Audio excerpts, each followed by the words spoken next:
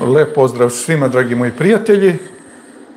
Dobrodošli na moj YouTube kanal, samo da vidim da li je ton dobar. Lep pozdrav svima, dragi... Ok, ton je u redu, hvala Bogu. Ja vas sve pozdravljam večeras. Dobrodošli na moj YouTube kanal. Evo večeras još jedan live stream kojeg ćemo imati zajedno. I svima želim dobrodošlicu. E, tehnika je postavljena, nadam se da će nas poslužiti večeras u ovom streamu kojeg ćemo imati. Tema večerašnjeg predavanja jeste znamenja skorog dolaska našeg Mesije, našeg cara nad carevima i gospodara nad gospodarima. Ali pre nego što krenem na temu večeras, najpre reklama za Svetu Božju reč, za Sveto pismo. Za one koji možda još uvijek nemaju, možete dobiti besplatan primerak ako pošaljete vašu adresu i broj telefona na moju e-mail adresu koja glasi docusangelos.yahoo.com i zahvaljujući sponsorima i ljudima koji eto, sponzorišu kanal i Biblije, e, vi možete da dobijete vaš, vaš besplatan primerak, da imate, da čitate i da pratite. Uglavnom šaljem samo na teritoriju Republike Srbije zbog carine, zbog fiskalnog računa za svaku Bibliju, ja ih kupim na veliko, i onda nemam taj fiskalni račun za svaku pojedinačno, tako da ne vredi, jednostavno ne mogu da pošaljem preko granice samo teritorija Republike Srbije. Evo dakle, eh, ovo veče ćemo se baviti ovom temom znamenja dolaska Mesije. Kao što vidimo, situacija u svetu je onako prilično eh, bučna, uzavrela, priličan je haos na sve strane i mislim da zaista kada pogledamo sva znamenja koja ćemo večeras e, proći kroz biblijski tekst o kojima ona govore, sama, sama sveto, samo, samo sveto pismo, sveti spisi, vidjet ćemo da mnogo toga što je prorečeno u svetim spisima zapravo svedoči da se nalazimo na pragu nečeg velikog, dolaska Mesije. I ne samo to, navršava se tih 6000 godina istorije ovoga sveta i to takođe ima svoje vrlo bitno značenje kada razmišljamo o drugom Hristovom dolasku, o znacima drugog Hristovog dolaska i verujem da ćemo kroz svetu Božju reč da spoznamo ovo, ovo istorijsko vreme koje je nesvakidašnje, neobičajeno, vrlo značajno. Mnogo toga se događa. Preti opasnost od velikog svetskog rata. Vidimo da da zapadna Evropa i lideri zapadne Evrope, Macron, Scholz i cela ekipa ta koja, koja je Davus ekipa zapravo, oni neprekidno govore o tome da Rusija ne može da pobedi. E sad, kako oni to misle? To mi baš nekako nije jasno. Ako oni uđu u taj rad da Rusija ne pobedi, onda će biti šta će biti, a to svakako neće biti dobro ni za koga, ni za Ruse, ni za sve ostale nas. Tako da mislim da treba da razumemo događaje, izbivanja i ono što je najvažnije da duhovno budemo pripremljeni za sve ono što sledi, za sve ono što dolazi i naravno da budemo spremni za susret sa carem nad carevima i gospodarom nad gospodarima. Takođe želim da pozdravim admine i adminke koji su tu i koji se staraju da vama bude ugodno ovde na kanalu.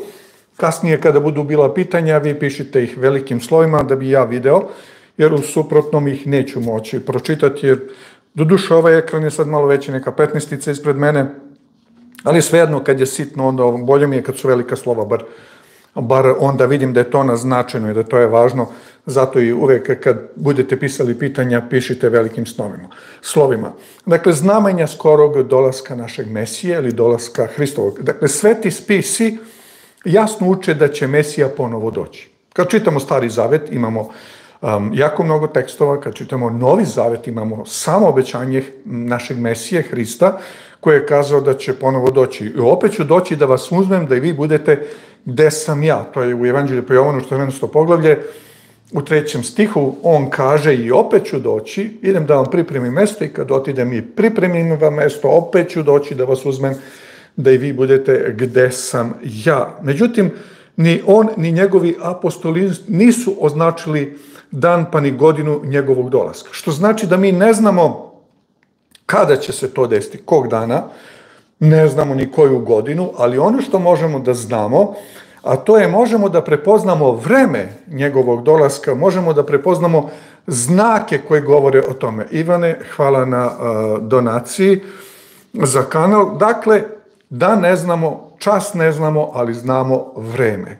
I to je ono što uh, ja na ovom kanalu jako potenciram. Vi koji pratite ovaj kanal već godinama znate da smo mi prošli gotovo sve, ali eto, repeticium mater studiorum est, ponavljanje je majka mudrosti.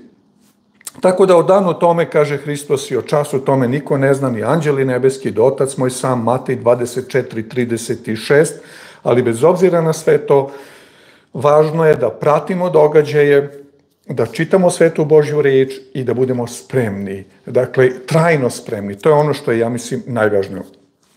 Iako nam Mesija, Hristos, nije otkrio dan svoga dolaska, on je ipak spomenuo različite, različite znamenja, različite znake po kojima možemo zaključiti da je njegov dolazak blizu. I to je ono što ćemo mi večeras raditi. Znači, to što je Hristos naglasio, neka znamenja, neki znaci koji ukazuju na to da je njegov dolazak blizu kod vrata, upravo je to ono o čemu ćemo večeras razmišljati. O znamenjima je govorio u svom čuvenom proročkom govoru zapisanom kod evanđelista Mateja 24. poglavlje, Lukino evanđelje 21. poglavlje, Markovo evanđelje 13. poglavlje, mada u Lukinom evanđelju imamo na više mesta delove tog Hristovog govora. Dakle, nije samo u jednom poglavlju, nego u više poglavlja je to Hristos, Hristos naglasio. Tako da, to je Luka zapisao. I onda ćemo videti sada večeras nešto od toga. Prva stvar o kojoj ćemo razmišljati, znamenja, to su znamenja na fiz, u fizičkom svetu. Šta se dešava u prirodi oko nas? Moćna znamenja na nebu. Dakle, na nebu će se dešavati uh, znamenja, čudesa koja će ukazivati na to da se bliži nešto jako veliko, to je da se bliži drugi Hristov dolazak. Evanđelista Matej je zapisao te reči Hristove, u 24. pogledu, 29. i 30. stih, gde kaže i odmah će po nevolji dana tijeh sunce pomračati, pomrčati i mesec svoju svetlost izgubiti i zvezde s neba pasti i sile nebeske pokrenuti se i tada će se pokazati znak sina čovečega na nebu i tada će proplakati sva plemena na zemlji i ugledat će sina čovečega da ide na oblacima nebeskim sa silom i slavom velikom. Znači, nakon određenog istorijskog perioda, e, nevolja, e, progonstva i velike nevolje za Boži narod, sunce će da ugasi svoju svetlost, pomrknuće, mesec će svoju svetlost izgubiti, kaže Hristos, i zvezde s neba spasti. I sile nebeske pokrenuti se i tada će se pokazati znak Sina čovjeka. Naravno, ovo je vezano direktno za drugi Hristov dolazak, ali takođe ova znamenja su se ispunila u određenom istorijskom trenutku u prošlosti, o čemu je bilo reči ranije, ali ćemo večeras nešto od toga spomenuti. Jojlo 3.15 kaže, sunce će i mesec pomrknuti i zvezde će ustegnuti svoju svetlost i sam Bog će riknuti sa Siona iz Jerusalima i pustiti glas svoj, zatrašće se nebo i zemlja, ali će e, gospod biti utočište svome narodu, krepo sinovima Izraelovim i tako dalje i tako dalje. Dakle, Jojlo govori o tome da će se tako nešto dešavati. Fenomen sa suncem, fenomen sa mesecom i fenomen sa zvezdama. Znači, sa a, svim tim što se dešava iznad naših glava gore. Veliko razdoblje nevolje, koje se ovde spominje takozvani mračni a, vek dominacije papstva, vreme u kome su mnogi verni Hristovi sledbenici bili nemilosrdno progonjeni i ubijani. To je taj čitav period od 1260 godina, kada je e, od, 7, od 538. do 1798. godine, kada je e, mnoštvo hrišćana ubijeno, smatra se da je od strane inkvizicije nastradalo preko 60 miliona ljudi. Dakle, to nije tako mali broj. Zanimljivo je da je negde 2000. godine e, papa, koji je tada bio papa, znači neki je bio, ja mislim da je Jovan Pavle još uvijek bio živ, on se izvinio eh, svetu za sve to što je katolička crkva radila u tom eh, dugačkom periodu, dakle, inkvizicije i mnogo, mnogo ljudi je stradalo, mnogo ljudi je ubijeno. I upravo na kraju tog perioda proročanstvo kaže da će kao znamenje da se desi nešto sa suncem, sa mesecom i sa zvezdama, što će potvrditi da smo ušli u završnu fazu istorije plana spasenja. E, dakle, Bog je otkrio i takođe i Danielu da će ta papska dominacija trajati 1260 godina i već smo rekli 538 1798 godina, Progonstva su prestala oko 25 godina pre nego što je istaknuo, istekao pomenuti e, period. Odmah posle nevolje iz tog perioda trebalo da se pojave određeni znaci na nebu i oni su se pojavili. I baš kao što su se tada pojavili ti znaci, neposredno pred drugi Hristov dolazak to će se ponoviti. Što znači, ako će Hristov dolazak da, da, da se odigra recimo 15 septembra, primjera radi ovako, sad ja ne znam koji datum, ali evo, jedan sam uzeo, ti znaci će se dešavati negde oko mesec dana u ranije, kad govorimo o direktnom Hristovom dolazku ili možda nešto manje, što će direktno ukazati na to da smo ušli u zadnje trenutke istorije ovoga sveta. 19. maj 1780. godine, to možete da googlate na, na Google i vidjet ćete i slike i fotografije, izveštaje New York Timesa i raznih tih časopisa, bio je mračni dan zbog nadprirodnog pomračenja sunca. Pomračenje je počelo u 10 sati pre podne i trajalo je do ponoći. Znači, nije pomračenje kao sad što imamo eklipsu 8. aprila, dakle, pomračenje sunca i obično to pomračenje sunca, ta eklipsa koja će biti sad uskoro, traje negde 3 do 5 minuta, ne duže. Međutim, ono što se tada desilo, 19. maj 1780. zapišite, pa proverite na Google, mračni dan zbog nadprirodnog pomračenja sunca. Pomračenje je počelo dakle u 10 prepodne i trajalo sve do ponoći. Jednostavno smrklo se u popodneva da nisi mogao da vidiš prst pred nosom. Bilo je totalno mračno, e, ptice su otišle na spavanje, ljudi su se vratili kući, mnogi su mislili da je kraj sveta, da je smak sveta, da se sve to nešto približilo. Pravi uzrok tog značajnog fenomena i tog znamenja je ostao nepoznat. Iste noći sva nebeska videla bile su obavijana neprobojnom senkom, a mesec je izgledao kao krv. Tačno tako kako proročanstvo kaže, tačno tako se ispunio, ispunile ove Hristove reči. I to je bio samo, kako da kažem, onako hm, blago pikovanje istorije, da bismo znali ocrtavanje, da bismo znali da smo ušli u sam završni period. Pre nego što Hristos dođe, to će se ponoviti na mnogo snažniji način, kao što se desilo u vreme kada je Hristos bio razapet, tri sata su bili potpuna tama, sada slušamo mnogih katoličke teologije, neke druge teologije, da će u vreme eklipse 8. aprila biti tri dana tame, ali to neće biti. Ta tama o kojoj oni govore će se desiti u vreme sedam čaša, kada će se izliti na ovaj svet i kada će se proročanstva doslovno ispuniti, ali o tom potom. Ima vremena dok se to ne desi. Tako da se to jedno proročanstvo ispunilo tada. I kaže Hristos, i zvezde će spasti s neba. Rekao je Hristos. Ovaj znak ispunio se 13. novembra 1833. godine, to možete takođe da zapišete pa da proverite u Google, kada se dogodilo najveće padanje meteora u istoriji. Očevici su ove pojave smatrali preznacima Hristovog dolaska. I ljudi koji su to gledali, to je trajalo jako dugo, celu noć je to varničilo nebo i padali su meteoriti na sve strane.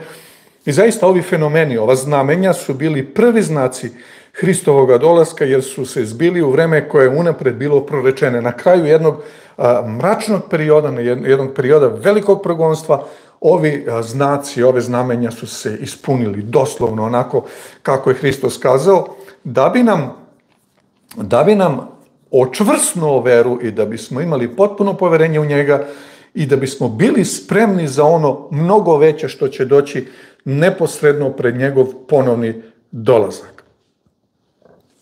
Onda imamo znamenja na zemlji. Dakle, ovo je nešto što se dešavalo gore na nebu. Onda imamo ta znamenja na zemlji. Kaže Hristos, jer će ustati narod na narod, o tome već govorim u mnoštvo videa, i carstvo na carstvo i bit će gladi, pomori, zemlja će se tresti po svemu svetu. Mislim da ovo ne treba previše komentarisati. Prosto kad upalimo televizor i slušamo vesti, glava nas zaboli. Od, o ratovima, o Ukrajini, o Bliskom istoku, o Palestini, o Izraelcima i neprekidno su ratovi i Hristos kaže Ustaće narod na narod, carstvo na carstvo, bit će gladi, pomori, zemlja će se tresti. Naravno, kada su ratovi, onda se pojavljaju nestašica hrane. Vidimo da se sada situacija što se tiče Ukrajine jako komplikuje, Francuzi su već krenuli tamo, došli su u Rumuniju, njih, e, ta, ta jedinica od 2000 njih, i spremaju se da uđu u Ukrajinu, Britanci su već tamo, reče Šolc, i oni već jesu tamo, i spremaju se za fajt sa Rusijom. E sad šta će iz toga sve da proizađe, to niko ne zna, ali vidjet ćemo kad se bude desilo. Čućete ratove i glesove o ratovima, kaže Mesija. Gledajte da se ne uplašte, jer sve to treba da bude. Jer će ustati narod na narod, carstvo na carstvo, i to će biti baš veliki haos, velika gungula na zemlji, i zemlja će, i bit će glad i pomor, i zemlja će se tresti po svemu svetu. Što se tiče tih zemljotresa, to ne treba komentarisati, toga ima jako mnogo. Mladene, hvala ti na donaciji za propovedanje evanđelja. Tako da ta dešavanja o kojima govori Sveta Božja reč, su prorečena. Hristos je ta znamenja već otkrio unapred da bismo znali o čemu se radi. Glad, epidemije obično prate velike ratove. Posle Prvog svetskog rata umrlo je u Kini od gladi preko 3 miliona ljudi, a od španske groznice širom sveta preko 15 miliona. Drugi svetski rat takođe ima svoju mračnu istoriju gladi i bolesti. Zemljotresi su drugi znak Hristovoga dolaska. Zemljotresa je bilo uvek, ali što se više bližimo Hristovom dolasku, vidimo da ih ima sve više i sve su razorni. Recimo onaj koji smo videli u Turskoj, ona prošle godine, ili kad već to beše, je bilo izuzetno razorno kada su čitavi e, kvartovi i delovi gradova sravnjeni sa zemljom, dakle ništa nije ostalo. I stalno kada odemo na, na taj e, seizmološki sajt za, za, za celi svet, vidimo da se zemlja neprekidno trese. Sve to su velika znamenja koja govore o tome da će Mesija ponovo doći. Šta više tamo kaže da u samom danu kada on bude dolazio, da će se planine tresti, da će ostrava da potonu, da će to biti jedno nešto izuzetno veliko. Ovo je sad samo onako, kako da kažem, blaga naznaka onoga što sledi.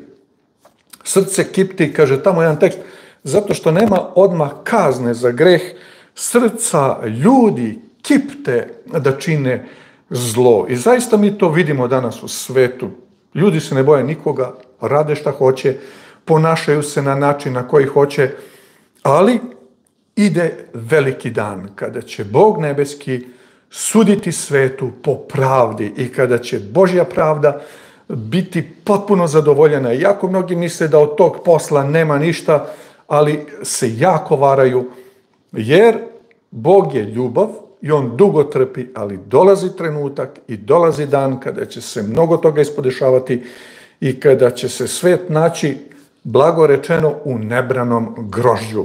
To neće biti nimalo jednostavno, ali nam to sve e, već unapred kazano. Dakle, zemljotresa je bilo uvek, ali što se bližimo više kraju, njih će bivati sve više i više.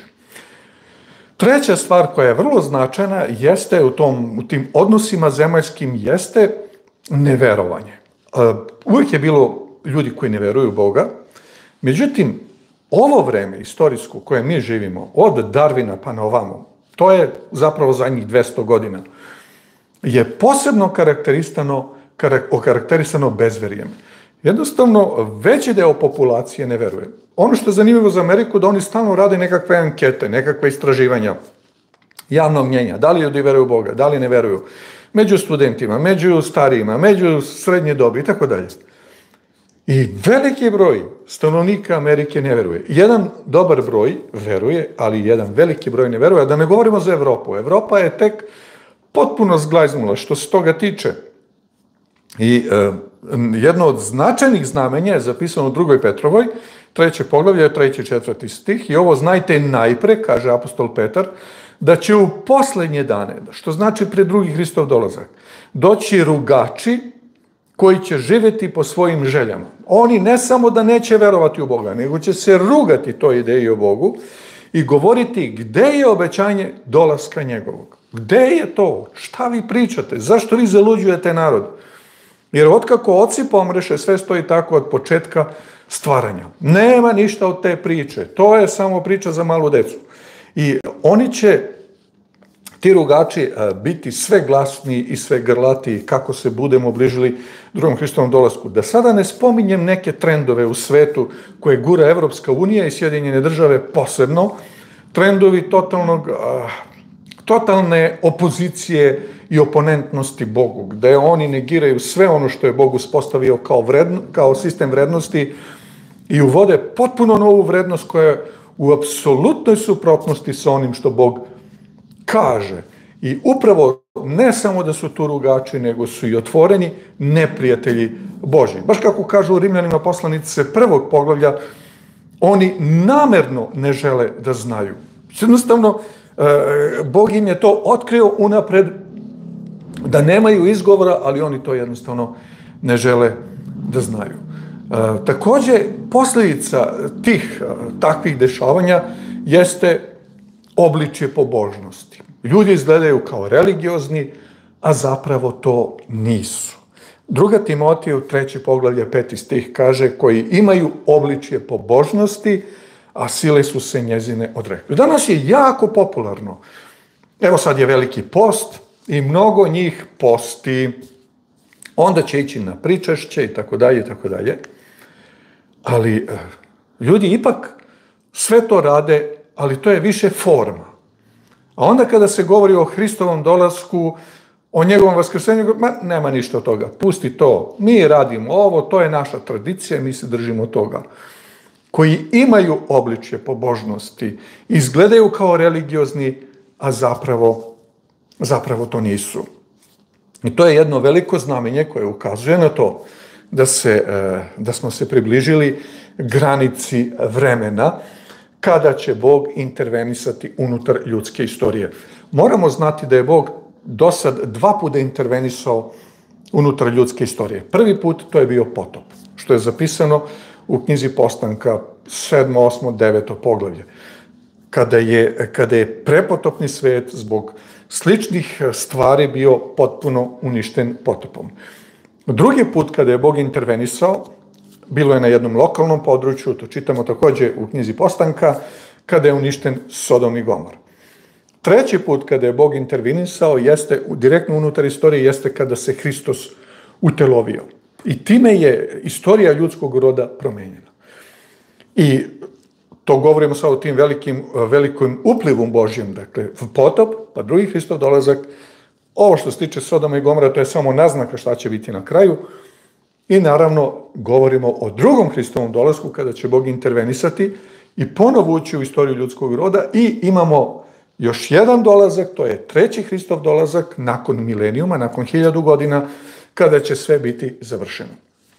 I upravo se mi nalazimo sada u toj nekoj fazi drugog slavnog Hristovog dolaska kada će Bog intervenisati. Jer e, sva ta znamenja koja, koja, o kojima govori Sveta Božja reč su prisutna u ovom vremenu ne u malom obimu, nego u punom obimu. Uvijek je bilo ljudi koji ne veruju, uvijek je bilo ratova, uvijek je bilo zemljotresa, ali broj toga i količnik, količina toga je ogromna. Monika, hvala na donaciji, neka te Bog blagoslovi. Tako da je ovo vreme takvo da sve ovo čemu sada govorimo, ovim znamenjima, su u punom potencijalu, što znači da se Hristov dolazak izuzetno približio, koji imaju obličje pobožnosti, a sili su se njezine odrekli. Ili pak bezverje, što spomenu smo, Luka 18.8, Hristove reče, ali sin čoveči kada dođe, kaže Mesija, hoće li naći veru na zemlji? Imamo mnogo religioznih ljudi, imamo mnogo religija i svi su nešto religiozni, svi se nešto, da ne kažem, religiozno prenemažu, ali da li ljudi imaju veru Hristovu. Veru Hristovu znači da Hristos stanuje u nama, da Duh Sveti stanuje u nama i da riječ Božja i zapovesti Božje postoje, to je žive u našem životu. To je jako važno pitanje. E sada, ono što je činjenica, kaže Hristos, kada dođe sin čoveči, hoće li naći veru na zemlji? Hoće li naći ljude koji veruju? Čak i oni koji odlaze u crkvama, čak i oni koji su prilično revni, veći fokus stavljaju na sebe nego li na Hrista. Taj legalizam je toliko lepljiv da je to ko selotep, onako kad ga uzmeš pa ti se zalepi, taman ga odlepiš od ove ruke, on se zalepi na ovu i šta god da radiš s tim, on se stalno lepi na tebe. To je legalizam. To je obličje pobožnosti bez Hrista.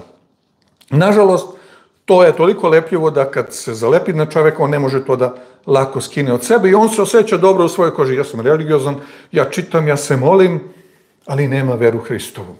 To je vera koja dugo trpi, koja ne zavidi, koja se ne nadima, koja se ne veliča, koja sve snosi, koja sve veruje, koja sve mu nada. Tamo kaže da je to ljubav, prva Korinčanima, ali a, ta ljubav je produkt duha svetoga i vere koja je u našem srcu, koja je prisutna u našem životu.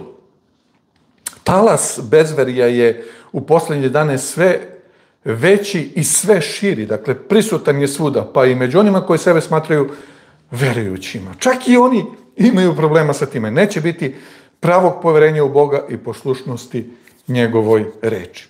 Mnogo od njih koji čitaju Svetu Božju reči koje čitaju tekstove o Hristovom dolasku, kažu, ma ko zna kada će to da bude. To, evo, apostol Pavle kaže, jer se vreme približi, apostol Petar kaže, očekujemo taj veliki dan, a ono prođe 2000 godina, moće proći još 2000 godina, opusti se, jedi, pi, uživaj, jer u koji čas ne mislite doći će sin čoveči. Vrlo je važno da budemo spremni i da budemo gotovi za njegov ponovni slavni dolazak. Takođe, još jedno znamenje koje ukazuje na to da smo jako blizu dolaska našega Mesije, jeste nedostatak ljubavi. To je hlađenje. Ljudi su danas postali hodajući zamrzivači. Jednostavno, ali ne iznutra, nego iz polja. Ledeni su iznutra, a ledeni su iz polja. Kažem, u Mateju 24.12 Mesija Hristos kaže što će se bezakonje umnožiti, a zaista danas ono kolosalno, ohladneće ljubav mnogih. Moja generacija je 68. godište, ja sam 68. godište, i u to vreme nekako i pre toga, do 2000. godine to nekako išlo. Posećivali su se međusobno rodbina, prijatelji, sve to nekako funkcionisalo. Međutim, sada živimo u nekom vremenu, vremenu velikog haosa kada jednostavno postoji problem da se ljudi druže međusobno. Ohladnela je ljubav mnogih i kaže Hristo što će se bezakonje umnožiti, ohladneće ljubav mnogih i to je tačno tako, mi to vidimo da se to tako i dešava. Mnogi će se obeshrabriti i njihova ljubav prema Bogu ohladneće zbog sve većeg širenja pokvarenosti u svetu. I zaista mi to vidimo da ta pokvarenost u svetu je jako kolosalno prisutna. I e, kaže e, takođe još jedan znak koji govori o, o tome da je Hristov dolazak pred vratima, jeste e, evanđelje će se propovedati po svemu svetu za svedočanstvo svim narodima. U Mateju 24.14. to je jedan veoma značajan tekst, kaže Hristos i propovedat će se ovo evanđelje o carstvu po svemu svetu za svedočanstvo svim narodima i onda će doći posledak. Ovo evanđelje će se propovedati po svemu svetu. I korona ili morona, kako god, 2019. je to počelo, decembar mesec onako, pa onda kod nas od marta u, u 2020. je doprinala tome da su ljudi bili jako otvoreni da čuju vest evanđelja. Ova kriza koja sada se zahuktava, izgleda da će biti prilično onako velika, će takođe dopriniti tome da ljudi budu spremni da čuju evanđelje. Hristos ne kaže da će se evanđelje propovedati, da će svi ljudi da se spasu. Nego je Hristos kazao, i to je ključni znak njegovog dolaska, propovedet će se ovo evanđelje o carstvu Božjemu po svemu svetu, za svedočanstvo svim narodima i onda će doći posledak. Za svedočanstvo svim narodima. Da ljudi čuju vest o Hristu, i da oni mogu da odluče hoće ili neće da prihvate evanđelje. Zato on kaže za svedočanstvo svim narodima, da budu osvedočeni u istinitost reči Božje. To ne znači da će da prihvate, ali ono što je važno da su osvedočeni i da tu vest kada čuju da mogu da je, da mogu da je prihvate ili da je ne prihvate. I ovo proročanstvo se danas ispunjava na neobičan način. Evanđelje se propoveda skoro na svim jezicima i dijalektima u preko 220 država sveta koliko ima. Biblija je prevedena na sve jezike sveta, cela. Kažu da je štampana skoro u tiražu od 20 milijardi kopija na svim jezicima, fragmenti ili cela i kako god. Što znači da svaki stanovnik ima nas 8 milijardi, nešto malo više, može da ima najmanje dve Biblije u, svom, u svojoj biblioteci. Dakle, svako može da ima. Koliko samo postoji satelitskih kanala, koliko postoji YouTube kanala, koliko postoji e, na svim tim platformama ljudi koji e, šire vesti evanđelja, kače stihove i tako dalje i tako dalje. Tako da svako onaj ko hoće da čuje, može da čuje, sad pitanje je da li će hteti nešto da posluša, to je e, sloboda izbora. I upravo se ovo znamenje danas ispunjava više nego ikad. Gotovo celi svet je pokriven, pa i muslimanski svet koji je bio vrlo e, neprijateljski raspoložen prema evanđelju i prema Hristu, ali čak i njima se evanđelje propoveda na, na jedan veoma, veoma kolosalan način. E, takođe postoje znamenja koja će se dešavati na društvenom i moralnom polju. U 2. Timotijevu 3, e, trećem poglavlju od prvog do petog stiha kaže ovo znaj, apostol Pavle, da će u poslednje dane, poslednji dan je kec olamim, dakle poslednje vreme, nastati teška vremena. Dakle, neće biti tako jednostavna vremena i mi već od 2020 živimo u jednom prilično složenom vremenu, jer će ljudi postati samoživi.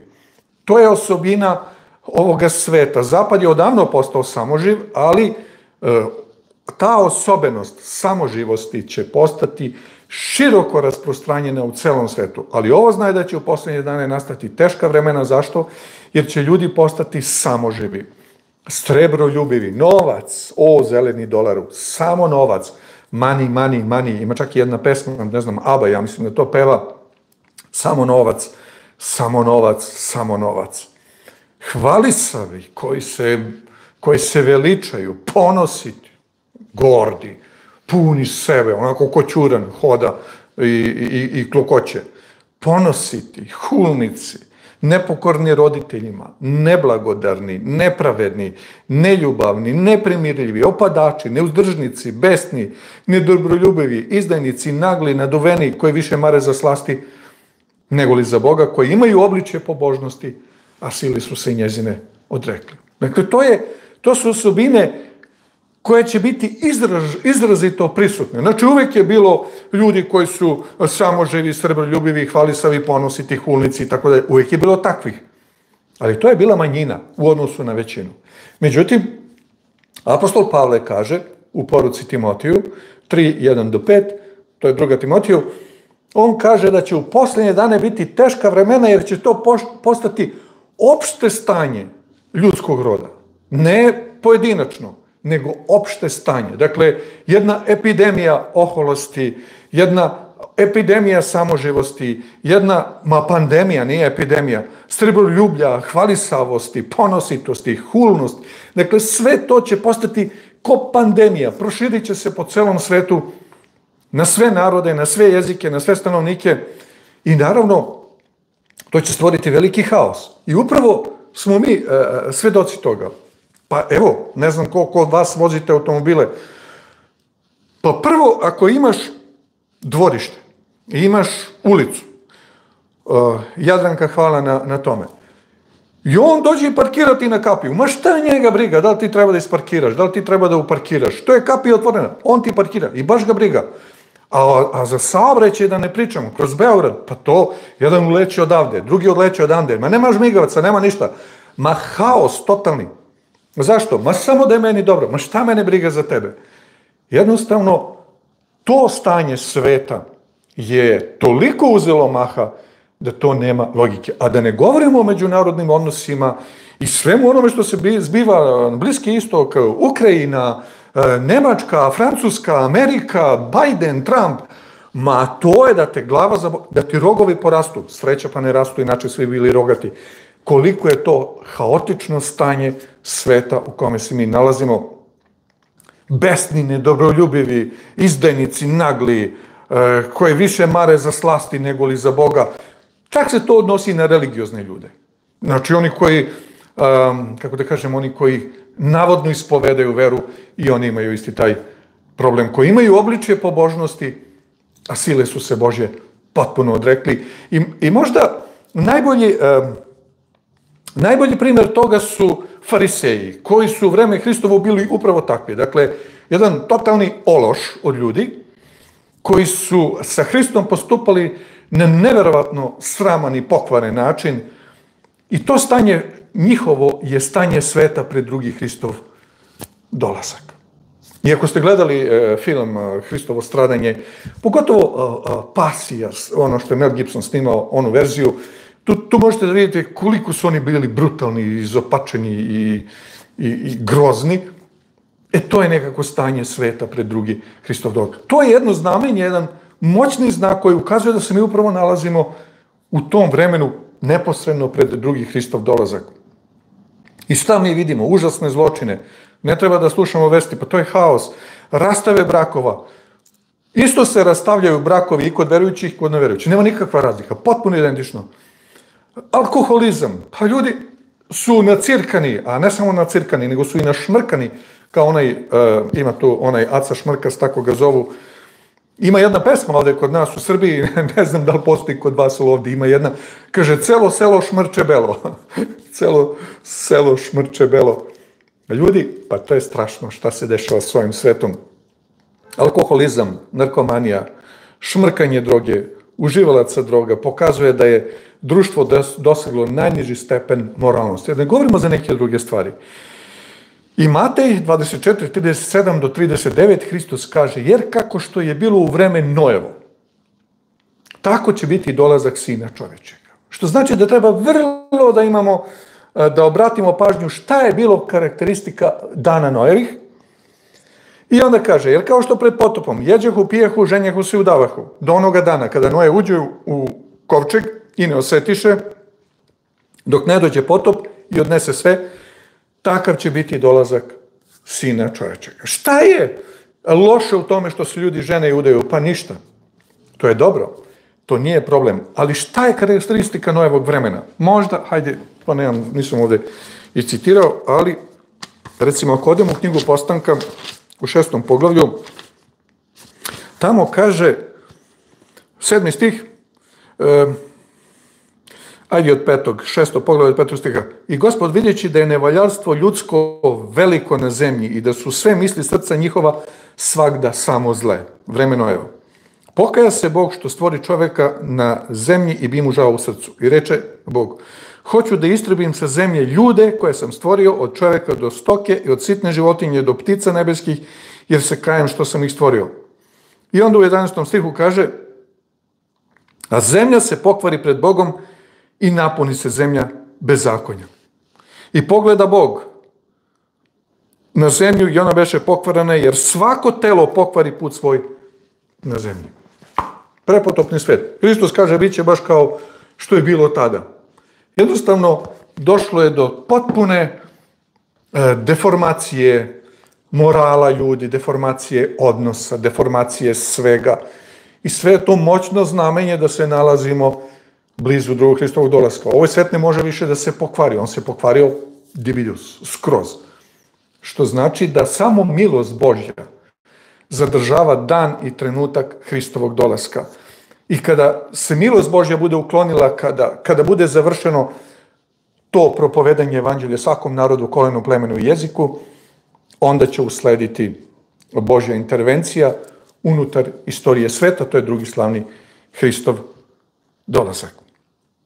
Takođe, jedan od elemenata znaka koji ukazuje na to da se bližimo a, znamenja koje ukazuje da se bližimo drugom Hristovom dolasku jeste e, Luka, Lukino evanđelje 21. poglavlja od 25. do 27. stiha Hristos kaže i bit će znaci u suncu i u mesecu i zvezdama. Ono što je bilo pre 200 godina, čitali smo malo pre, to će se ponoviti neposredno pred drugi slavni Hristov dolazak, ali ne taj mračni dan je bio nad Severnom Amerikom, ali ovoga puta će biti, da li će to biti 8. april u vreme eklipse, nisam siguran, jer još uvek mislim da, da ovaj mesec april neće biti Hristov dolazak, to treba da bude negde na jesen, u vreme jesenjih praznika, ali kada bude se desio taj dan, onda će se zaista, kao što kad je Hristos bio na krstu, sunce potpuno ugasilo, kao što u Egiptu bilo, da je bio potpuni mrak, da nisu vidjeli prst pred nosom, ništa nisu mogli da vide, a u kućama jevreja je bilo videlo, dakle nije bilo mračno, to će se ponoviti sa celim svetom. I to je znak da je to sad pred vratima. Znači, od tog trenutka do Hristovog dolaska ostalo jako malo. Biće znaci u suncu, u mesecu i zvezdama i ljudima na zemlji, šta će se dešavati sa ljudima? Tuga od smetnje, od huke morske i od valova.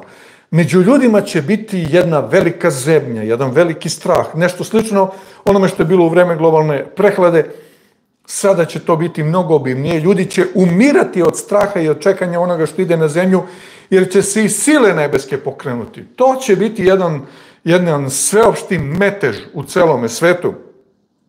I tada će ugledati sina čovečega gdje ide na oblacima sa silom i slavom velikom. Sile nebeske će se pokrenuti, sada ne govorimo o tim silama nebeskim, o, kupoli iznad i svemu ostalom, neki misle da smo loptasti, ali to je sad druga priča, ali svakako će se sve pomeriti i sve će se pokrenuti. I to će biti toliko moćno da, kako kaže tamo u e, šestoj trubi, e, da će bogati, silni, moćni vikati stenama i planinama da im padnu na glavu, da ih sakriju od lica onoga koji ide i neće se pokajati od zlih dela svojih i od čaranja svojih i od vraćanja svojih i od čega god, ma nema, ma nema pojma, ma ne dolazi u obzir. Jednostavno ostaće na svom stanovištu protivljenja Bogu, jer su izabrali sile tame da stoje na strane sile tame. Mnogim ranijim opisima dodata je u naše vreme i ova opasnost, strah od atomskog sukoba. I evo sada je to onako prilično aktuelno. Hoće li Rusi da gađaju e, tim taktičkim e, nuklearnim bombama te francuske trupe koje će doći u Ukrajinu tim nekim malim malecnim, koje koferče borbe, bombe, ili neće, šta će biti, da li će biti, kako će biti, francuska nuklearna sila, u velika nuklearna sila, naparfemisana, Rusi su nuklearna sila, Amerikanci su nuklearna sila, i sad da vidimo ko će prvi da stisne dugmiće. Ja se nadam da Bajdenu nisu dali dugmiće, jer ko zna šta bi on uradio, ali tamo se nadam da neki drugi ljudi drže te dugmiće u rukama, ali stvarno postoji opasnost ako takvo oružje uopšte postoji, da neko stisne to dugme. Mada mislim da takvo oružje ne postoji. Jer bi odavno neko stisnuo to dugme, ali to je druga priča. Eh, jedan čuveni naučnik je rekao, ja sam prestrašen čovek, svi naučnici koje poznajem su prestrašeni, boje se za svoj život i vaš život, živimo u vreme sve veće opasnosti od uništenja strašnim razvojnim oružjem koji zaziva strah i užas svih ljudi. I to je strah koji, koji nas drži već 50 godina, hladni rat, Rusija, Amerika, Severna Koreja, Kina i tako dalje i tako dalje. Sve to ukazuje da se znamenja skoro Hristovog dolaska ispunjavaju pred našim očima. Zatim, znamenja na polju nauke. Kaže u Danilovoj knjizi, 12. glavi 4. stiha, to je jako dobar stih, a ti Danilo zatvori ove reči i zapečati ovu knjigu do posljednjega vremena. Mnogi će pretraživati i znanje će se umnožiti veoma. Znanje će se u svetu umnožiti toliko kolosalno da će to biti nevjerojatno. I posljednjih 200 godina e, ističe se mnogi pronalasci u oblasti nauke i tehnike, povećanjem opšteg znanja, ali u dubljem e, shvatanjem, istraživanjem i razumevanjem Božje reči. Sjetimo se samo nekih izuma kao što je parna mašina, telegraf, telefon, automobil, avion, kompjuter i sada konačno veštačka inteligencija, AI. To je sada, evo Srbija će biti uh, vodeća zemlja u razvoju veštačke inteligencije i jadna ta inteligencija kad ćemo mi da je razvijamo. I to nije veštačka inteligencija, to je samo jedan običan uh, šklopocija od softvera koji kad mu daš neke informacije on može da ih iskoristi, kad mu ne daš on ne može da ih iskoristi. Dakle, uh, E, imate onaj chat GPT, imate Microsoftov, taj kako se zove, ajde sad da ne otvaram da nešto ne pobrikam na kompjuteru, taj njihov isto koji on koristi, i to onako može da pomogne da neke informacije brže nađete, to je jedan malo bolji pretraživač. Ono što ima Microsoft, ovaj chat GPT, on je ograničen, zato što nema neke podatke novije. Ali zaista ta tehnologija, evo recimo sad ja ispred sebe držim mobilni telefon i vi mene možete da pratite uživo. I to u video, dakle ne samo audio nego i video, što je neverovatna, neverovatni tehnološki domet, što takođe omogućuje da se znanje o Hristu brže širi i e, razumevanje Božje reči u ovim danima pred drugi Hristov dolazak je dostiglo jedan veoma, veoma zavidan nivo. Da zato što imamo dostupne elektronski na, na, na kompjuteru, imate u telefonu, možda nosite celu biblioteku, možda nosite stotine Biblije u telefonu, korkoredanse, možda imate interlinear Bibliju, da imate na latinskom, na grčkom, na jevrejskom, na originalu i da vidite i kako se čita i kako se izgovara. Neverovatno, samo na jedan klik imate ogroman pristup bazi podataka, to je pristup ogromnoj bazi podataka gde možete mnogo toga i zato se znanje, kažu da se do pre 200 godina znanje uvećavalo onako, ko bi bio doktor nauka, on bi znao sve što bi se otprilike u to vreme znalo. Međutim, sada sa razvojem e, kompjutera kažu da se znanje udvostručava, bilo je na tri meseca, a sada kažu da to sa ovim chat GPT-em i tim ide na 15 dana. Dakle, svaki 15 dana je duplo više informacija nego što je bilo pre 15 dana i zahvaljujući društvenim mrežama i svemu ostalome, znanje se, količina informacija i informa, svega se mnogo struko uvećava. To je takođe jedno znamenje, jedan znak gde kaže e, da će se znanje umnožiti veoma, ali kad kaže veoma, to znači baš veoma. I zaista smo generacija ljudi koja može s pravom da kaže živimo u vreme pred drugi Hristov dolazak. E sada se postavlja pitanje kako mi treba da živimo u tom vremenu, kada je već sve tako, a jeste tako, e, pred drugi slavni Hristov dolazak.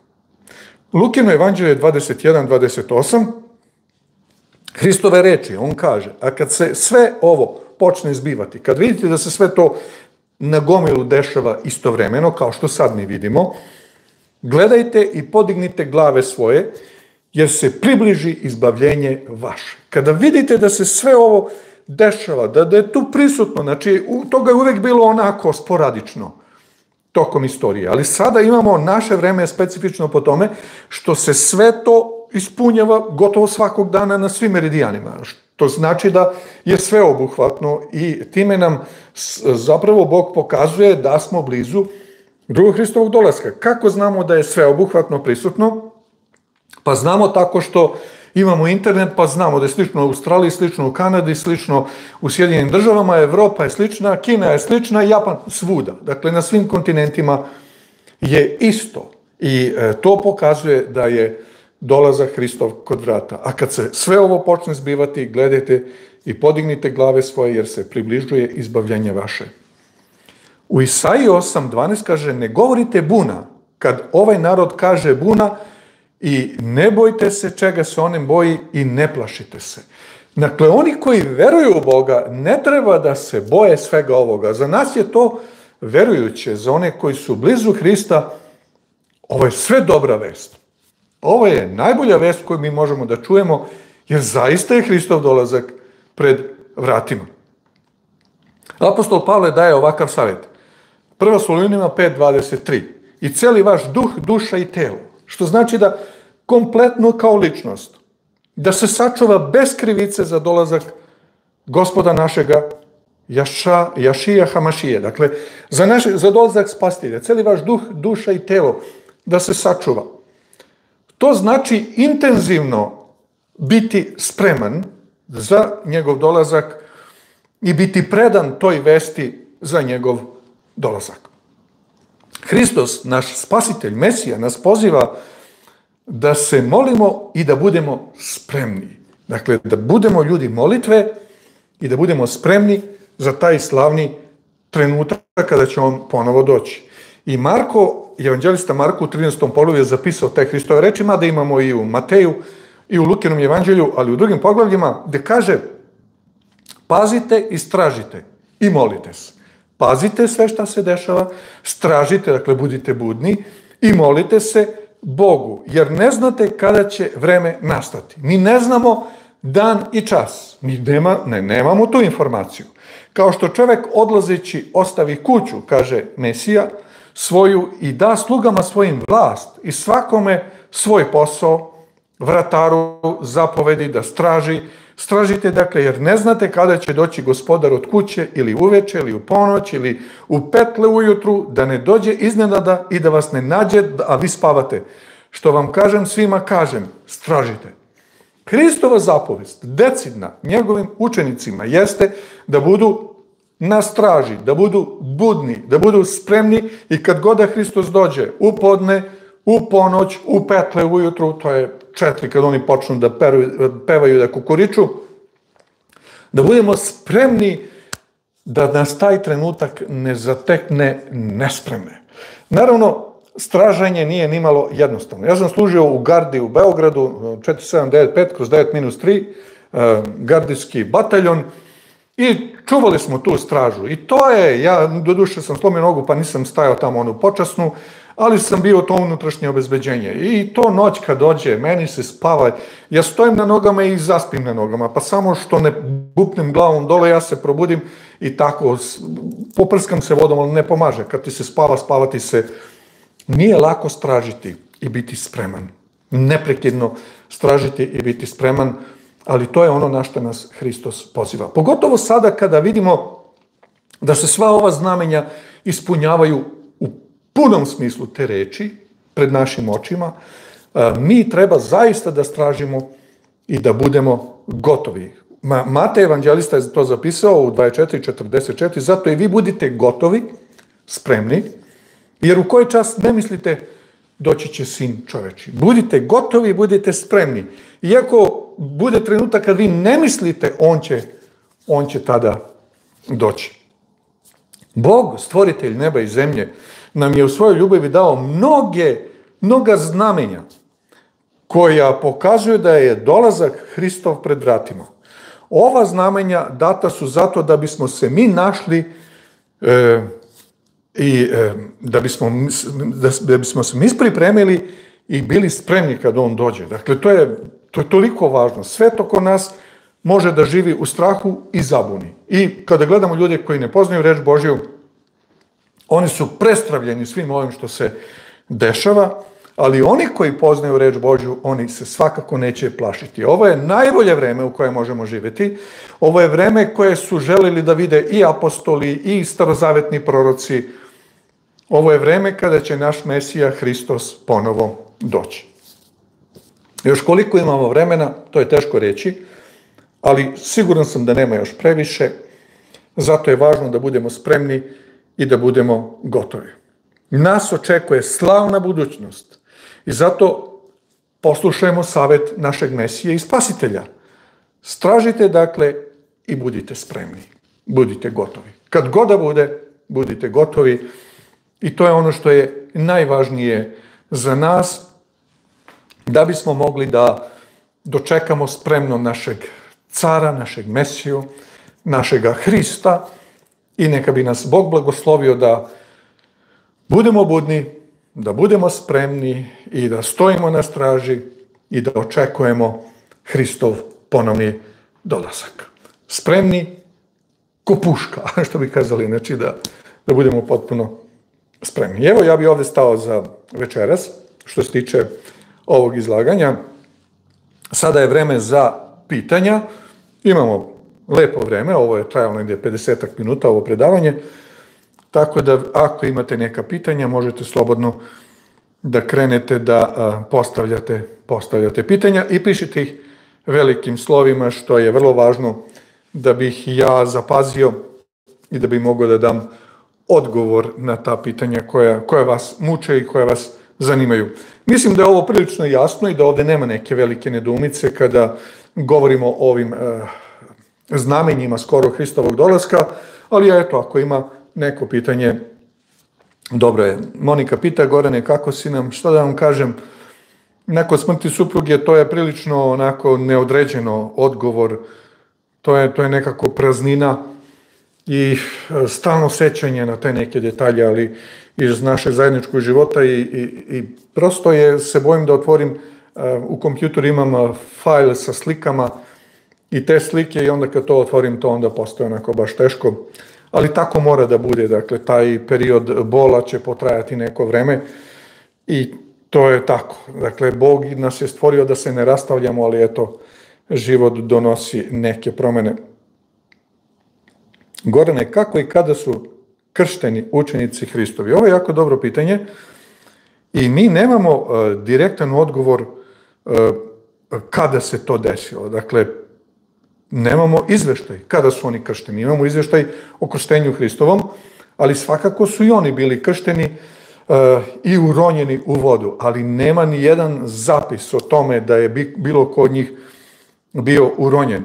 Imamo zapis o Hristu, ali ne i učenicima koje on pozvao da, budu, da ga slede i da budu njegovi učenici. Zaista ne mogu da dam odgovor na to pitanje, jer ga nisam našao u tekstu biblijskom nigde, kako su i kada, ali imamo taj tekst, idite dakle po svemu svetu, načinite sve narode mojim učenicima, krsteći ih u ime Oca, Sina i Svetoga Duha kao taj veliki nalog, ali nemamo izveštaj kada su i kako kršteni 12 apostola. Još koliko do Pashe ima? Pasha je e, 22. sledećeg meseca je Paska i onda sledi praznik presnih hlebova. Osmog na, na taj dan kada, kada kažu da će biti pomračenje sunca, eklipsa, planiraju da prinesu crvenu junicu 8. aprila, pa ćemo da vidimo sad šta će se sve tu ispodešavati. To mene isto živo zanima, verujem kao i vas. Pasha je 22 tako pada, pa sover, kako tamo piše. Imam taj kalendar, to vi koji imate Google telefone, to je s ove e, pametne e, telefone, i imate Google kalendar, možete da ukucate Jewish kalendar i onda ćete imati sve njihove praznike, pojavljivat će se u kalendaru kad se koji kad se šta dešava, oni to stave za celu godinu unapred, pa tamo tako i piše. E, Gorane, nas, Goren naš, uz tebe smo, Bog s tobom, dragi naš, svi te volimo. Pa hvala vam puno, zaista velika je bila vaša podrška. E, toliko saučešća je bilo, ja mislim, preko, skoro preko 3000 izraza, izraza saučešća. I evo, koristim priliku da se svima vama zahvalim na, na podršci, na molitvama i na svemu. A, zaista, neka, neka vas Bog blagoslovi i ja se osjećam jako blagosloveno zbog svega toga, zbog sve vaše podrške i molitve i pomoći koju ste poslali neka vas Bog sve blagoslovi i neka vas čuva. Da li si sarađivao sa Miroljubom? E, što se tiče Miroljuba, njega poznajem lično već više od 30 godina. E, u jedno vreme ja sam počeo da radim, da obavljam ovu službu, on je završio studije, ali dok sam studirao, prilično smo se sretali, Imao sam prilike i kasnije, ali onda život odnese jednog na jednu stranu sveta, drugog na drugu stranu sveta, ali smo i dalje u kontaktu, imam i njegov broj telefona, tako da, da smo u dobrim odnosima sve vreme, što se, što se njega tiče. Ako je Hristos ušao u nebesku svetinju 1844. godine, gde je bio kada se uznao od, do tada? Pa naravno da je bio tamo, samo mi ne govorimo o tome, jer Hristos je i a, Kohen Hagadol, dakle prvosveštenik, ali takođe je on i a, a, car Meleh. Tako da kada je Hristos otišao sa ove zemlje, mi nemamo previše izveštaja o tome sve šta se tamo dešava. Najbolji izveštaj kojeg imamo, to je Jevrejima poslanica, šta Hristos radi i naravno knjiga otkrivenja, gde, gde se opisuje ta njegova služba. Tako da on je tamo. E sada 1844. se završio taj dugački proročki lanac 2300 večeri i jutra i na završetku tog proročkog lanca krenuo je e, takozvani Jom Kipurim, čišćenje nebeske svetinje, šta to znači? Pa to je isto ono što čitamo u Mojsijevim knjigama u Levitskoj knjizi i kasnije u ponovljenom zakonu, gde imamo opis šta se dešava na Jom Kipurim. Naravno, sad kako da mi to objasnimo, jer pred Bogom je jedan dan kao hiljadu godina, što znači da Hristos otkad se vazneo i došao tamo u nebeski realitet, za njega su prošla dva dana. Prvi milenijum je prvi dan i ovaj drugi milenijum je drugi dan i to se sada negde privodi svome kraju i bliže se njegov ponovni dolazak na ovu zemlju. Tako da kad mi razmišljamo u kategorijama godine 1844. pa sad mi računamo koliko godina je do danas i sve to ostalo, teško da mi to možemo da razumemo taj realitet, jer apostol Petar u drugoj Petrovoj trećem poglavlju kaže da je pred Bogom hiljadu godina kao jedan dan i jedan dan kao hiljadu godina, što znači da u realitetu gde je Boži tron, gde se sve informacije stiču iz svih svetova u deliću sekunde, da tu vreme ne teče, tu nema vreme, ne postoji vreme, tako da, da kad mi e, pokušavamo našu kategoriju vremena da stavimo u prostor gde Hristos boravi, to je nemoguće, zato što to ne funkcioniše na takav način, što znači da je to, e, i čak i mi kada mu bude, mi budemo bili tamo gore jedan milenijum, za nas će to biti samo kao jedan dan, a ne da će proći hiljadu godina, jer hiljadu godina na zemlji je vezano za kretanje sunca, koje pravi svoj ciklus, e, godišnji ciklus, pa hiljadu ciklusa i jedan milenijum, ali kada govorimo o Božjem realitetu, tamo nema sunce i nema tih ciklusa i to je potpuno drugačiji realitet. I zato ne možemo da naše vremenske okvire stavimo u Božji okvir, jer kaže tamo Isaija 55, koliko je nebo više od zemlje, toliko su moje misli više od vaših misli, moji putevi više od vaših puteva, što znači da sve to kad mi pokušavamo sad da kažemo šta on radi sad, šta je radio do 1844.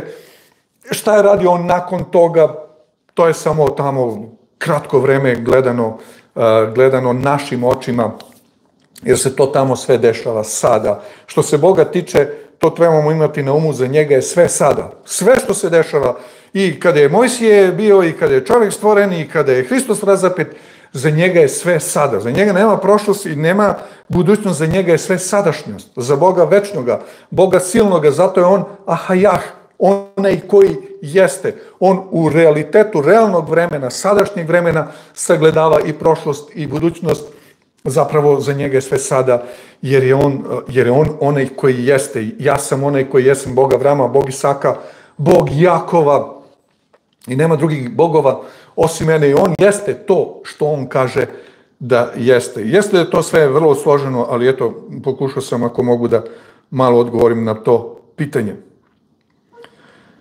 Gordane, da li treba da se ljudi plaše svih ovih komičnih proročanstva? Naravno da ne treba, imate mnogo, Pajsije, tamo neki, e, e, kako zove, monah, pa onda ovaj, pa onaj, pa njegovo proročanstvo i tako dalje i tako dalje. Najvažnije što mi trebamo da znamo je ono što piše u Svetoj Božoj reči. To je ono što je neopozivo i što će se svakako desiti, svedilo se to nekome ili ne. Sva ta druga proročanstva da će Putin biti ruski car, da će on da uspostavi, da će sve, recimo imate te e, razne sveštenike i teologije pravoslavne iz Grčke dole, koji govore o tome o nuklearnom ratu, svet će biti uništen i onda imate to objavljeno. Pa Biblija nas izveštava da će Hristov dolazak da učini to, a ne atomske bombe. Kakve atomske bombe? Da, da, da se uopšte ne lažemo. Mogu ljudi da se iz, umlate međusobnom, ali to ne znači da je to drugi Hristov dolazak. Za nas je važno da budemo spremni za njegov dolazak i ne treba se bojati tih uh, sporednih proročanstva koje nemaju nikakve veze sa onim, tako kaže svevišnji stvoritelj neba i zemlje. Mijomir Živković, šta znači da će Hristos skoro doći, a prošlo je skoro 2000 godina. Pa malo pre sam to dao, dao odgovor. Znači, 2000 godina je prošlo ovde, ali e, Hristos je kazao to ključno proročanstvo, vrlo značajno, znamenje, a to je da će se evanđelje ispropovedati svemu svetu za svedočanstvo svim narodima. Rana crkva nije uspela da obuhvati sve kontinente. Međutim, sada, nakon e, od 1950. pa na ovamo, Pogotovo od 2000. godine kada internet eksplodirao i kada smo dobili e, brze konekcije, brzi protok informacija, onda se evanđelja zaista propoveda na svim jezicima, na svim meridijanima i svim narodima plemene. Pa imate tamo u Africi, nemaju ništa, ali imaju neki telefon i oni, i oni tipkaju njega i imaju internet. Dakle, Afrika koja nema milion toga, ali su celu Afriku um, obišli optičkim kablom i gotovo svuda ima internet i u toj Africi tamo. Što znači da je Bog učinio da to, ta informacija o njemu može dopre zaista do svih i da se proročanstvo ispuni. Iako je proteklo 2000 godina, moglo je to da se desi ranije, da se ova vest o Hristovom ispu, uh, objavila ranije. Ali opet imamo ti 6000 godina istorije greha i 7000 godina odmora.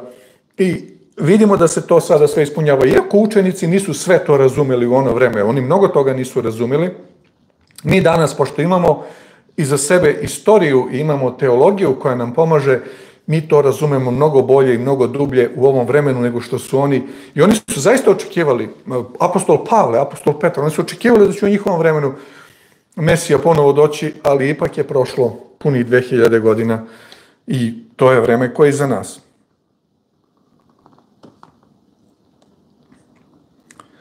E, nada, I sada se molimo, Gorane, za tebe da ti stvoritelj naš da snagi u tvojoj čerki, da izdržite u toj velikoj boli do njegovog dolaska, to je uskoro da naš spastelj dođe i da budemo svi zajedno.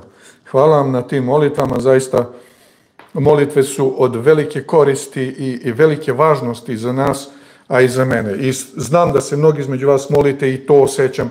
E, evo recimo iskustvo, supruga je bila bolesna, to je trajalo neki godinu dana, I zadnji četiri meseca, znači to je negde od početka decembra, pa evo do 8. marta kada je preminula, to je bio onako najteži period, noću nespavanje, ma haos.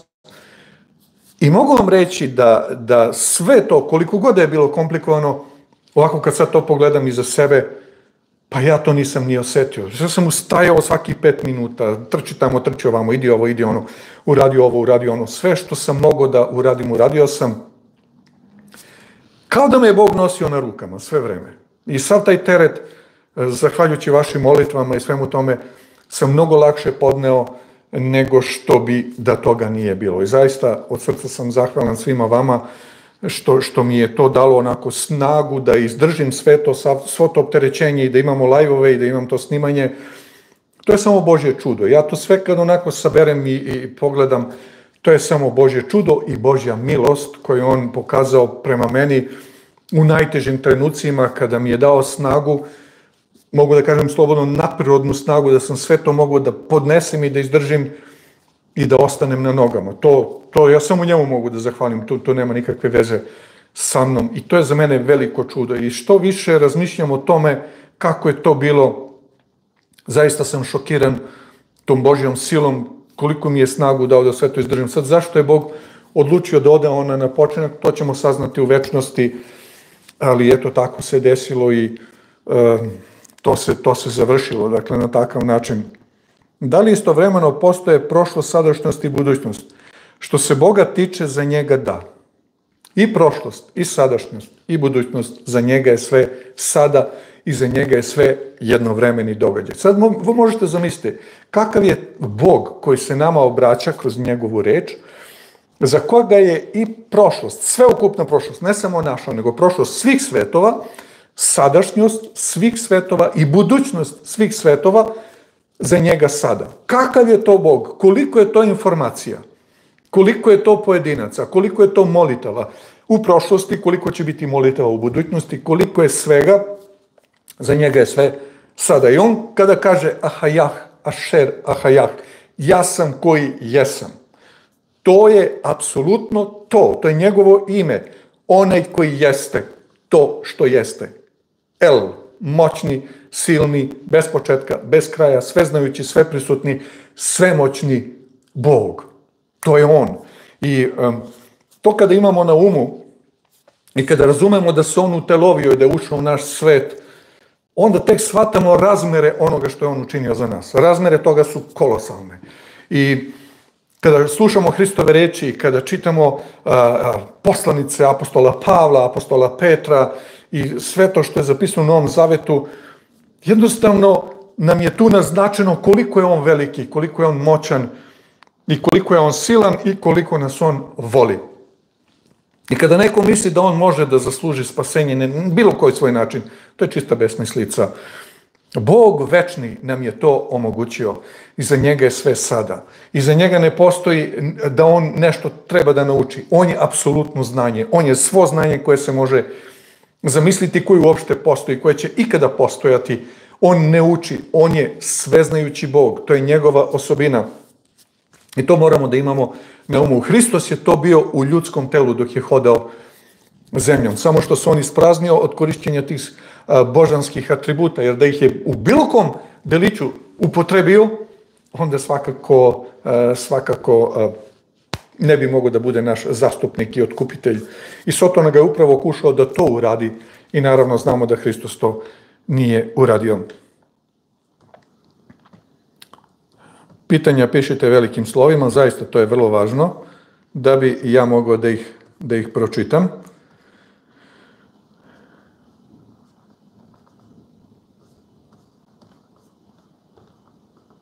Samo da vidimo. Ok.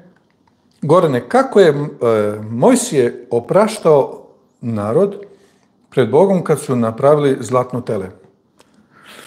Pa naravno da Mojsije to nije uradio, ali kada čitamo ponovljeni zakon u petoj Mojsijevoj, Mojsije kaže da je tri puta, tri puta po 40 dana postio pred Bogom zbog naroda da ne bude uništen. I Bog je uslišio njegovu molitvu da, da ne uništi narod, jer su prešli, prešli su svaku meru, prešli su svaku granicu. I Mojsije je zastupao. On kaže, ako, ako, ako nećeš njima da oprostiš, izbriši moje ime iz knjige, iz Sefer Haim, iz knjige života, da ne budem i ja tamo. I to možemo da čitamo u petoj knjiži Mojsijevoj, tamo negde pri početku prvih četiri, pet poglavlja, gde Mojsije opisuje to svoje iskustvo molitve i posredovanja za, za jevrejski narod koji jednostavno je pravio velike greške. Bila je ona pobuna kod Merive, pa onda probuna kod one stene, pa onda kad su napravili zlatno telo, oni su se stalno bunili. To su, to bilo, to su bili bunđije neviđeni, oni su i dan danas takvi, nisu se mnogo o, o, opametili od onoga vremena, ali Mojsije je bio, kako kaže Sveta Božja reč, najkrotkiji čovek na zemlji najkrotkiji čovek. Znači, e, živeo je sa narodom koji je bio toliko naopak, a on je ipak bio krotak. I na kraju kad mu je pukao film udario onu stenu dva puta, to nije smeo da radi, zbog toga nije ušao u Hanansku zemlju, ali ga je posle toga Gabriel, to je Mikael, Mikael onaj koji je kao bog vaskrsao, i on se sada nalazi kao vaskrsli predstavnik vaskrslih u carstvu Božjem. Magdalena Kostić, šta će se dešavati na zemlji kada Sotona bude svezan hiljadu godina? Ono što mi znamo iz Svete Božje reči, to je e, knjiga otkrivenja 20. poglavlje, gde nam se kaže da će zemlja biti tohu vavohu, to jest bez obličja i pusta. Baš kao što imamo izveštaj u postanku, u početku stvori Bog nebo i zemlju, a zemlja beše tohu vavohu, bez obličja i pusta. Isto to stanje će biti sa svetom u, a, tih, u tom milenijumu, što znači da neće biti biološkog života na zemlji. Biće kompletan biološki život ugašen. E sad, kako će to sve izgledati? Verovatno isto kako izgledalo i u vreme pre nego što je zemlja bila oblikovana i onda kada se navrši hiljadu godina, Bog će vaskrsnuti sve umrle iz svih vekova, od Adama pa do do Hristovog drugog dolaska, oni koji su poginuli u vreme drugog Hristovog dolaska, i e, onda će se Novi Jerusalim spustiti na zemlju, to znamo takođe iz knjige otkrivenja, i ovi će napraviti vojsku, najveću vojnu armadu ikada stvorenu od smrtnih ljudi. O tome govori e, otkrivenje 16. poglavi da iskupljaju se za boj velikog dana Boga svedržitelja, ali to neće moći da urade dok zemlja, e, nakon, do milenijuma, dok se ne završi, I onda ti vaskrsli grešnici svih vekova, oni će pokušati da zauzmu Novi Jerusalim i Hristos će tada presuditi svima njima i presuda će biti konačna uništenje, tako da će i satana, i pali anđeli, i grešni ljudi biti bačeni, biti bačeni u jezero koje gori ognjem i sumporom i kada to bude bilo sagorelo, kada toga više ne bude bilo, cela zemlja će biti obnovljena, 21. i 22. poglavlje i smrti više neće biti i bolesti, i vike, i tuge, i žalosti. I naravno tada će oni koji su u Novom Jerusalimu, u Novi grad Jerusalim, moći da, da dobiju svoj posed na novoj zemlji, o čemu govori Saija 66. poglavlje, neki drugi, neki drugi stihovi Starog Zaveta govore o tome da ćemo na novoj zemlji imati svoje kuće, svoje vinograde, da ćemo se starati o njoj baš ono što je bilo i s Adamom na samom početku. Ali sve dok se ne završi milenijum, taj sedmi milenijum, to neće biti moguće. Zemlja će biti u tom stanju haosa. Evo možda je to onako najkraće što mogu da kažem o tome.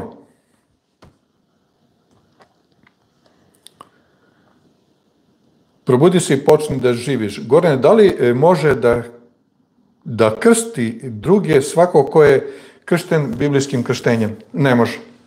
Zato što a, krštenje mogu da obavljaju samo oni koji su rukopoloženi za obred krštenja. Znači može, može da uroni, ali to neće biti validno pred Bogom. Zašto? Zato što je Bog odredio e, da apostoli idu i da krštavaju, onda su oni rukopoložili starešine i džakone koji su to mogli da rade i da obavljaju e, te službe, obred krštenja i obred venčanja. Dakle, samo neko ko je rukopoložen može to da obavlja, a da bi neko bio rukopoložen, on treba da bude prepoznat od strane crkve, da on može da obavlja tu službu i da ga crkva predloži da bude rukopoložen, jer šta to znači? To znači da ne može svako da, da, da uroni svakoga onako kako misli da treba, nego onako kako Božja reč zapoveda.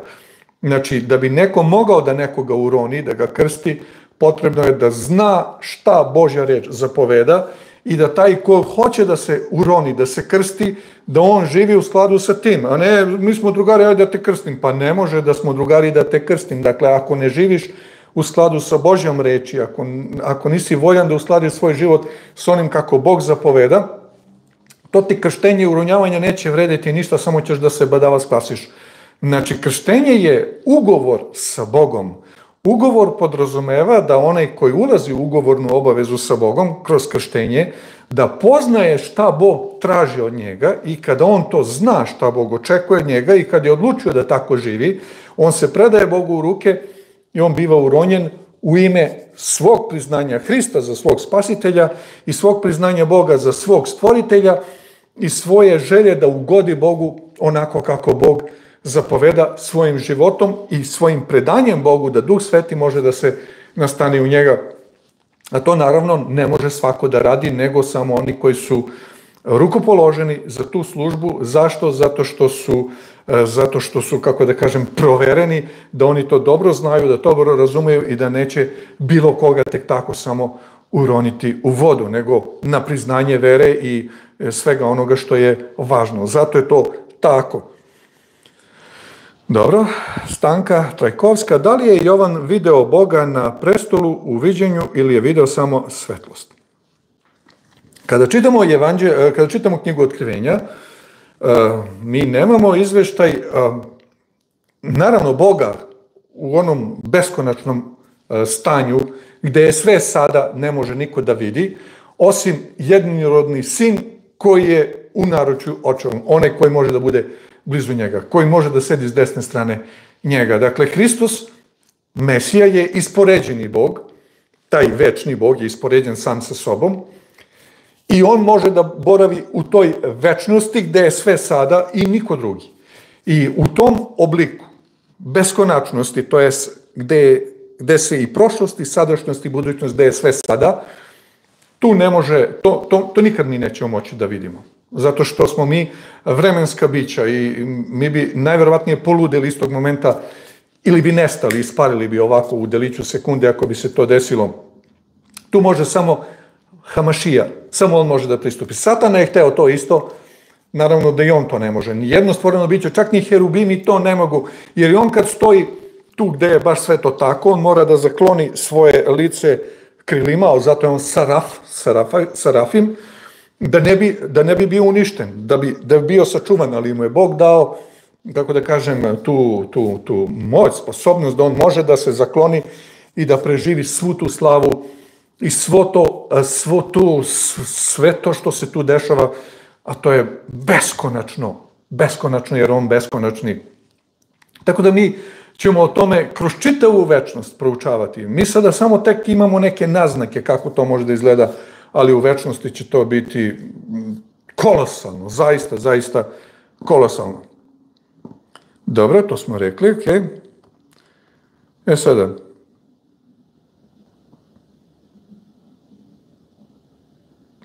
E, Gorane, može li neko ko nije član crkve dobiti svetu večeru?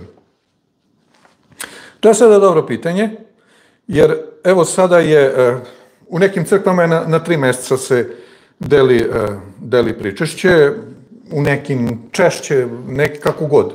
Postoje različite organizacije svega toga. Sveti apostol Pavle kaže, kada čitamo tamo prvu Korinčanima, 11. poglavlje da imamo obred, jer je primištovan i predadoh da gospod Isus onu noću koju bivaše predan uze hleb i tako dalje. I onda on kaže, apostol Pavle, koji nedostojne jede, sud sebi jede i pije ne razlikujući tela gospodnjega. Ako nismo uronjeni, to jest ako nismo kršteni, to jest nismo javno priznali Hrista, onda ne bi trebali da jedemo telo Hristovo, hleb koje je simbol njegovog tela i vino da uzmemo koje je simbol njegove prolivene krvi. Zašto? Zato što sud sebi jedemo i pijemo. Ako se nismo udostojili da, da, da se uronimo, da ga javno priznamo i da snosimo sve teškoće života koje to nosi sa sobom, a nosi velike teškoće života, onda ne bi trebali da pristupamo stolu sa, sa, sa hlebom i vinom. Naravno, to nije zabranjeno. Mi možemo, mislim, svako može to da uzme, ali to svakako neće biti dobro za onog ko to uzima, jer e, Pavle je to jako dobro naglasio da to ne činimo, zato što nismo u zavetnom odnosu. Tek kada smo u zavetnom odnosu, priznali Hrista, e, uronili su u njegovu smrt, prihvatili njegovu smrt i vaskrsenje, mi možemo da pristupimo stolu sa hlebom i, i sa vinom i da primimo pričest. Ovako to nekako ne bi bilo dobro po nas, ako bi to činili, jer nije potpuno, jer e, kada čitate Mojsijeve knjige, tamo kaže da su Mojsije i Aron i narod radili ken asa, tačno tako kako Bog zapoveda.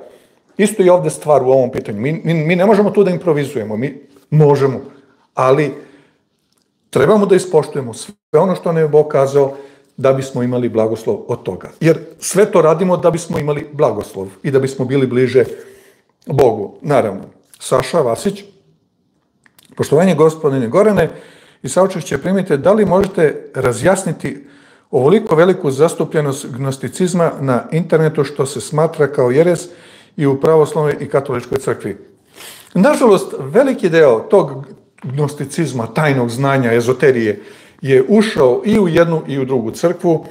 Čak su i mnoge protestantske crkve poprimile neke primese tog, e, tog e, gnosticizma, te ezoterije. I to jeste veliki problem. To je samo još jedno znamenje da smo se približili drugom slavnom Hristovom dolasku. I zaista, to je jako prisutno. Sad da ne ulazim u sve neke detalje, toga ima jako puno. Dakle, to tajno znanje, mi imamo znanje, mi možemo ovo, mi znamo ono, tako dalje, tako dalje. Najvažnije znanje koje treba imati je znanje o Bogu. To je najvažnije znanje. Potpuno znanje o Bogu i u tome kako biti poslušan živom, večnom, moćnom, silnom Bogu. To je najvažnije. A sva ta ezoterija koja je prisutna kroz gnosticizam, a gnosticizam vuče korene iz grčke filozofije i vuče korene iz Babilona i vuče korene iz Egipta i sad kako gde, negde više dominira ta egipatska mitologija i sve to, negde više e, dominira to iz Babilona što je došlo, a negde grčka kultura, Aristotel, Platon i svi ti filozofi stare Grčke i to onako baš nadima um i to je jako prisutno i u hrišćanskim crkvama i svakako da ne donosi, da ne donosi nikakav blagoslov. I mnogo je prisutno, a šta reći, ljudi, eh, ono što je Sotona kazao Evi, mislim da to do dana današnjeg, i tu je u stvari izvor eh, gnosticizma. On kaže Evi, ne, kaže, nećete vi umreti, nego zna Bog, kada budete jeli sa tog drveta, da ćete znati, znati šta je dobro, a šta zlo. Tu ih uopšte nije prevaro. Naučili su, oni su znali šta je dobro, a su naučili i šta je zlo, gnoza, znanje. Znaćete šta je dobro, a šta zlo. I dan, i dan danas on nudi e, te rodove, gnostičke rodove e, svetu i ljudi to onako halapljivo, halapljivo gutaju. I mislim da je tu osnovni problem. Milorad Kondić, Gorane, da li onaj koji nije kršten uronjavanjem u vodu, a živi po Bože volji, da li će biti spašen? Pa ja uvek odgovaram sa tim stihom koje je Hristos kazao to imamo zapisano u, u Evanđelju po Jovanom trećem poglavlju. E, svako ko veruje sina ima život, ko ne veruje sina nema života u njemu. To je Hristos kazao. Dakle, to nisu ljudske reči, to je on direktno izgovorio. Šta to znači? E sada, mi sebi trebamo da postavimo pitanje šta mene sprečava da ja budem uronjen u vodu? Zašto? Razumete, to je jako važno pitanje. Ja recimo kada sam trebao da budem kršten, kada sam odlučio da budem kršten i zakazan mi je bio datum kada će to biti obavljeno, ba napali su me svi đavoli ovoga sveta. Ja mislim da su mi se popili na glavu i nisam mogao da hodam uh, uspravno, pazite, uspravno, mislim, normalno čovjek hoda uspravno, nego sam ovako bio pogrbljen kao da sam nosio čitavu planinu na svojim leđima. I Soto nam je govorio, ma nemoj to da radiš, ma šta će to tebi, ma ti si mlad, ma pusti to, tada sam imao, uh, dakle, to je bilo 89. godine, tu 20, 21 godina. I Soto je svim silama radio na tome da ja ne sklopim zavet sa Bogom. Apsolutno. Znači, napadao me, nisam mogao da spavam, ma haos, totalni.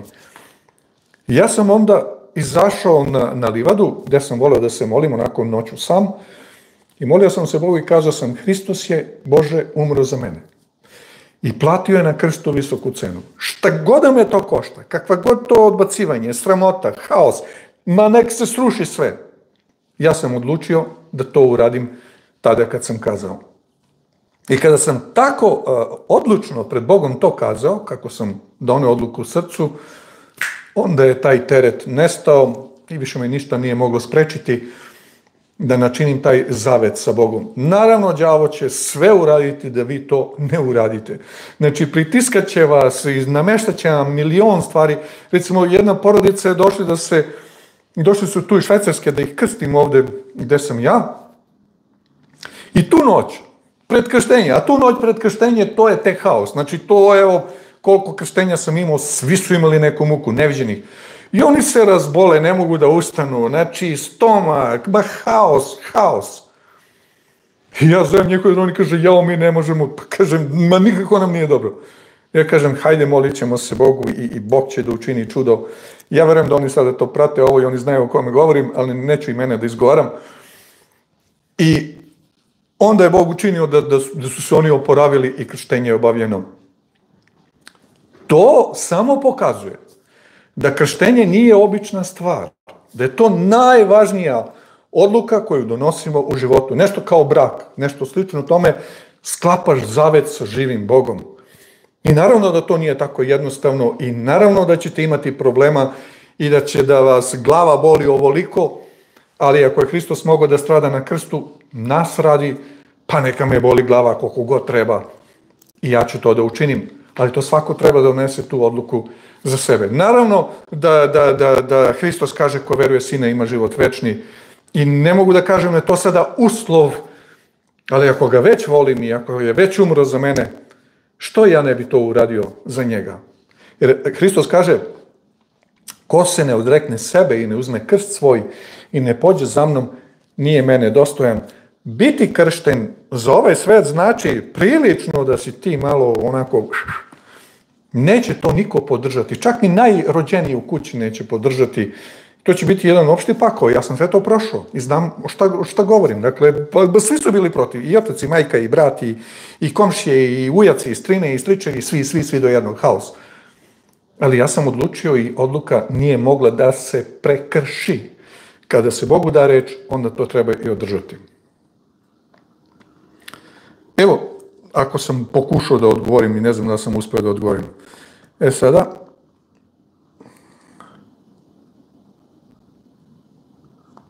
da vidim, kako ovo brzo pobegne. Kako će vest o Hristovom dolasku čuti narod iz zemalja koje su zatvorene? Pa jesu zatvorene, ali imaju internet. I opet imaju radio koji bombarduje taj, taj prostor, radio na kratkim talasima, na FM talasima, imaju satelitski e, program koji takođe tu, tako da ljudi to vrte, vrte pa nađu. E, na kratkim talasima mogu da nađu na svom jeziku i da slušaju, zato što su mnoge crkve zakupile te frekvencije da mogu da emituju da emituju signal i, i, i e, reč da ide na tim talasima, tako da ljudi svuda mogu da čuju. Gotovo svuda na svim meridijanima nema, nema nikakve, nikakve razlike. Da li može brat koji je bio rukopoložen u crkvi iz koje je izbačen davati svetu večeru i krštavati? Ne može. Mislim, on može da radi šta hoće, to mu niko neće zabraniti, ali u čije ime on to radi? To je sada pitanje i to je jeste veliko pitanje. Da li onaj koji nije kršten u ronjavanju u vodu, dobro da smo rekli, ok. Zašto nas uh, admin Luka nije više admin? Pa ne znam, ja stvarno nemam pojma, ja odavno to ne diram tu ništa, možda on to nije hteo. Ali eto, vidjet ću, pa ću da kažem, ja nisam ništa dirao to da sam nešto, jer ja jedini imam pristup da to odkačim ili zakačim, niko drugi. Ja imam samo pristup tome. Kako to da je Soton, da je stotine crkava i svaka ima pravo da roku položi, svaka je kao e, nasleđe apostola? To je sada veliko pitanje. Jeste, tačno je da uh, jeste da ima puno crkava i jeste da je neko ko je, e, ko je to pokrenuo, recimo taj pokret ili crkvu, kako god, da je primio to nasledđe rukopoloženja od nekog ko je već bio negde tako nešto.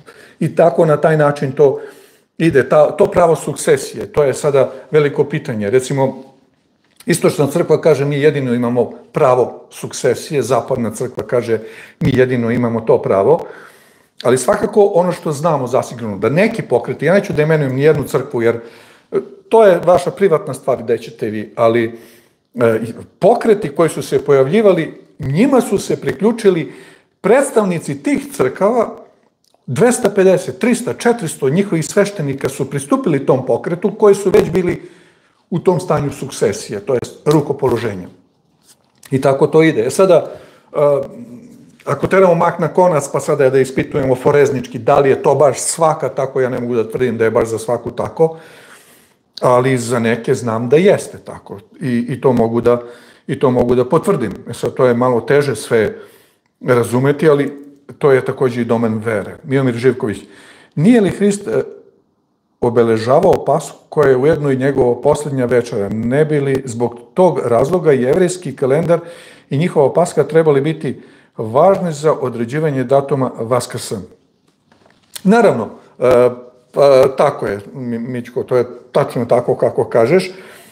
I jevrijska, jevrijska Paska pada 22. aprila, a pravoslavni Vaskrs uvek ide sedam dana posle toga, što znači, a katolici će uglavnom, ja mislim da obeleže, sad ne znam tačno, da obeleže Vaskrs verovatno, ako je Paska 22. sad ne znam koji dan pada, ne mogu da, da gledam u telefon jer ga koristim za, za, za pre, prenos videa, ne znam na koji dan tačno pada, čekaj, imam ovde, imam ovde kalendar, sad ću da imam ko je to, 22. Samo da vidimo. April 22. to je ponedjeljak, što znači Paska, pa onda ide presni hlebovi i tamo vamo, znači nedelja 28. je, je Vaskrs, bi trebalo da bude. Sad ne znam kako će biti tačno, ali evo, to je ono što vidim ovde. To treba vidjeti u kalendaru. To nije baš tako lako, ali to je osnova za izračunavanje za izračunavanje Vaskrsa, kad on tačno pada i to je klizni datum, nikad nije isti datum, nego se pomera u odnosu na u odnosu na pashu. Zašto se danas javljaju novi proroci? Zar nije dovoljno Biblija da čitamo i otkrivamo znakove vremena? U Bibliji jasno piše, bit će lažnih proroka i ima i koliko god hoćete, krš živi na sve strane, tako da zato da bi se proročanstvo ispunilo, baš zato ih ima. Zanima me, ko, zanima me koga će da postave za Antihrista kao glavara sveta, ko može da odgovori poželjno je čuti. Ja lično mislim da će to biti materializovan, materializovan satana. Ja lično mislim, ja ne mogu to da dokažem, ali lično mislim da će on biti materializovan i kad se on bude bio materializovao u toj, u tom raskošu, u tom sjaju u kom on jeste, pa ljudi će samo da padnu i, i da ga obožavaju kao mesiju, kao cara, kao već. I on će biti taj, dakle, koji će biti to. I ja mislim da taj trenutak nije tako daleko u budućnosti I to će biti jedan fenomen o kome govori Solunjanima poslanica druga, u drugom poglavlju imamo čitav taj opis kako će to izgledati. Kaže tamo apostol Pavle da će to biti moćna prevara koju će Bog pustiti na ovaj svet da se to na to uradi, zato što ljubavi prema evanđelju nisu imali. I zaista će to tačno tako da bude. Sam on će se materializovati kao čovek, jer on se i pojavljuje pred recimo iluminatima, pred masonima u tom 32. 33. stepenu, on se pojavljuje kao čovek i oni ga imaju naslikanog. Ako ste gledali intervju Rože Mornoa, taj njegov poslednji intervju, on je video njegovu sliku, kako on izgleda, dakle oni, oni njega poznaju, ali e, trenutak kada će se on pojaviti, to će biti samo s Božjim dopuštenjem. On to ne može ako mu Bog ne dopusti, a Bog će mu dopustiti na kraju i to će biti nešto e, najveličanstvenije što su ljudi videli svojim očima na zemlji, zato će ga vrlo lako prihvatiti svi i e, budisti i muslimani i hrišćani koji koji naravno a, će biti prevareni, a mnogo će biti prevarenih i tamo kaže knjiga Otkrivenje 13. poglavlje, sva demlja, zemlja se zadivila iza zveri i poklonili su se zmiji, dakle satani, i poklonili su se zveri i govorili su ko je kao zveri, ko može ratovati sa njom. To će se tačno tako desiti. E, Zoro, pitanje ovako, verujem kao Goran što propoveda, sad već 2000 godina su propovedali ili se varam. Kada je reč o ovim istinama koje mi sada slušamo, nisu one bile tako jasne ljudima. Prvo, Biblija je bila vrlo nedostupna, dakle, postojale su Biblije na latinskom jeziku u katoličkim e, samostanima gde su čuvane, gde nije moglo da se uzme malo je broj ljudi, mali broj ljudi je znao latinski jezik da bi razumeo, da bi čitao tek sa Martinom Luterom koji je preveo na narodni jezik, zatim King James prevod, iz 611. 1611. valjda beše ili kako već beše ili 511. ne znam tačno godinu. Tek kada je Biblija došla u narod, onda je krenulo njeno čitanje i trebalo je opet da prođe 500 godina skoro od, od, od, od, od 15. veka pa do 20. veka da se e, tekstovi bolje razumeju, da se načine korkordansi, da se načine sve to što je alat potreban da se Biblija bolje razume i e, 20. vek i 21. vek imamo sve kao na tacni. Tako da ovo što mi danas znamo, to su znali apostoli, pa je jedno vreme to bilo skroz izgubljeno, pa sada mi znamo pred drugi slavni Hristov dolazak i to je ono što Danilo kaže i znanje će se umnožiti veoma. I to možemo vrlo dobro da razumemo iz crkvene istorije, jer je u tom periodu kada nije bilo prevoda cele Biblije, nego samo delova i evanđelja su bila prevedena, recimo mi ovdje imamo Miroslavljevo evanđelje, zatim imamo Vukanovo evanđelje, dakle to su četiri evanđelja, Miroslav je dao da se prevede za njega, pa Vukan, njegov brat, je takođe želeo, pa imamo Marijino evanđelje iz negde petog veka, koje je pisano na glagoljici, sva ta, sve to, ali to su delovi, fragmenti, ne cele, cele svete Božje reči, Danas imamo sve prevedeno i to omogućuje da mi možemo jako dobro da razumemo šta Bog kaže. Imamo prevedeno na maternjem jeziku, imamo i originale, možemo imati originale, dakle na hebrejskom kako je, kako se čita, transliteraciju kompletnu, imamo sve. Tako da danas imamo zaista sve alate potrebne da razumemo koje je vreme. Jer kaže Daniel, i znanje će se umnožiti veoma, ne samo tehničko znanje, nego i znanje razumevanja reči Božje. To nije bilo baš tako u svim vekovima. Rana crkva je to znala i onda posle kada je došao srednji vek i onda se upalo u mrak, tu su bila samo žitja, ali nije bila dostupna reč Božja, dakle iskustva nekih ljudi, e, to je ono više rekla, kazala i tako dalje, i tako dalje, tako da ima tu puno ezoterije koja je ušla u sve to. To je sad jedan vilajet koji je vrlo teško razumeti. Bog uskoro dolazi. Brate Gorane, e, preskočio si moj komentar, razumem te i ne ljutim se, naš ima skoro 400, pa sad moguće da jesam, je sad to, sad ja ako vrtim na gore ću da preskočim još nešto drugo. Ok, znači, ne znam, stvarno, jer to mi pobegne čas gore i onda ja, ja da nađem gde sam bio. E, Saša Vasić, zahvaljujem vam na svetom pismu koje ste poslali. Prošle godine skoro mi je preminuo otac držeći desnu ruku na Svetom pismu, blagosloveni da ste pomaže ljudima, darujući Božju reči Sveto pismo. Hvala zaista Bogu i hvala sponzorima koji su omogućili da te Biblije dođu do vas. Podeljeno je skoro 5000 kopija Biblija. To na toliki broj ljudi koliko živi u Srbiji nije mnogo, ali eto, to je jedan mali skromni doprinos ovog kanala, da je eto 5000 Biblija doprlo do vas i hvala Bogu na tome. Mnogima to od vas to puno, puno znači. E, dobro, šta je ovo, koliko je sve to? Ok. Monika, kada sam se odlučila služiti Bogu, svoje te, telo oso, osloboditi od robstva cigaretama, pala sam na kolena i nisam htela ustati dok me Bog nije oslobodio od tog trenutka, nisam koristila cigarete. To je fantastično iskustvo, Monika, i hvala što si ga podelila ovde. Mnogi imaju taj problem. Znači, taj duvan, jao, mora zapalim da se smirim. E, to je mnogima problem i mnogi ne mogu da uđu u zavetni odnos zbog toga što dime. Jer kaže jedan, jedan stari, e, stari propovednik kaže da je Bog hteo da ljudi puše, on bi im ugradio čunak na glavi i onda bi to tamo išlo, ali Bog to nije hteo. Naravno, to, to je jedan kao, kao nešto za smirenje, neki, kao neki bensedin, ali hvala Bogu na tom iskustvu.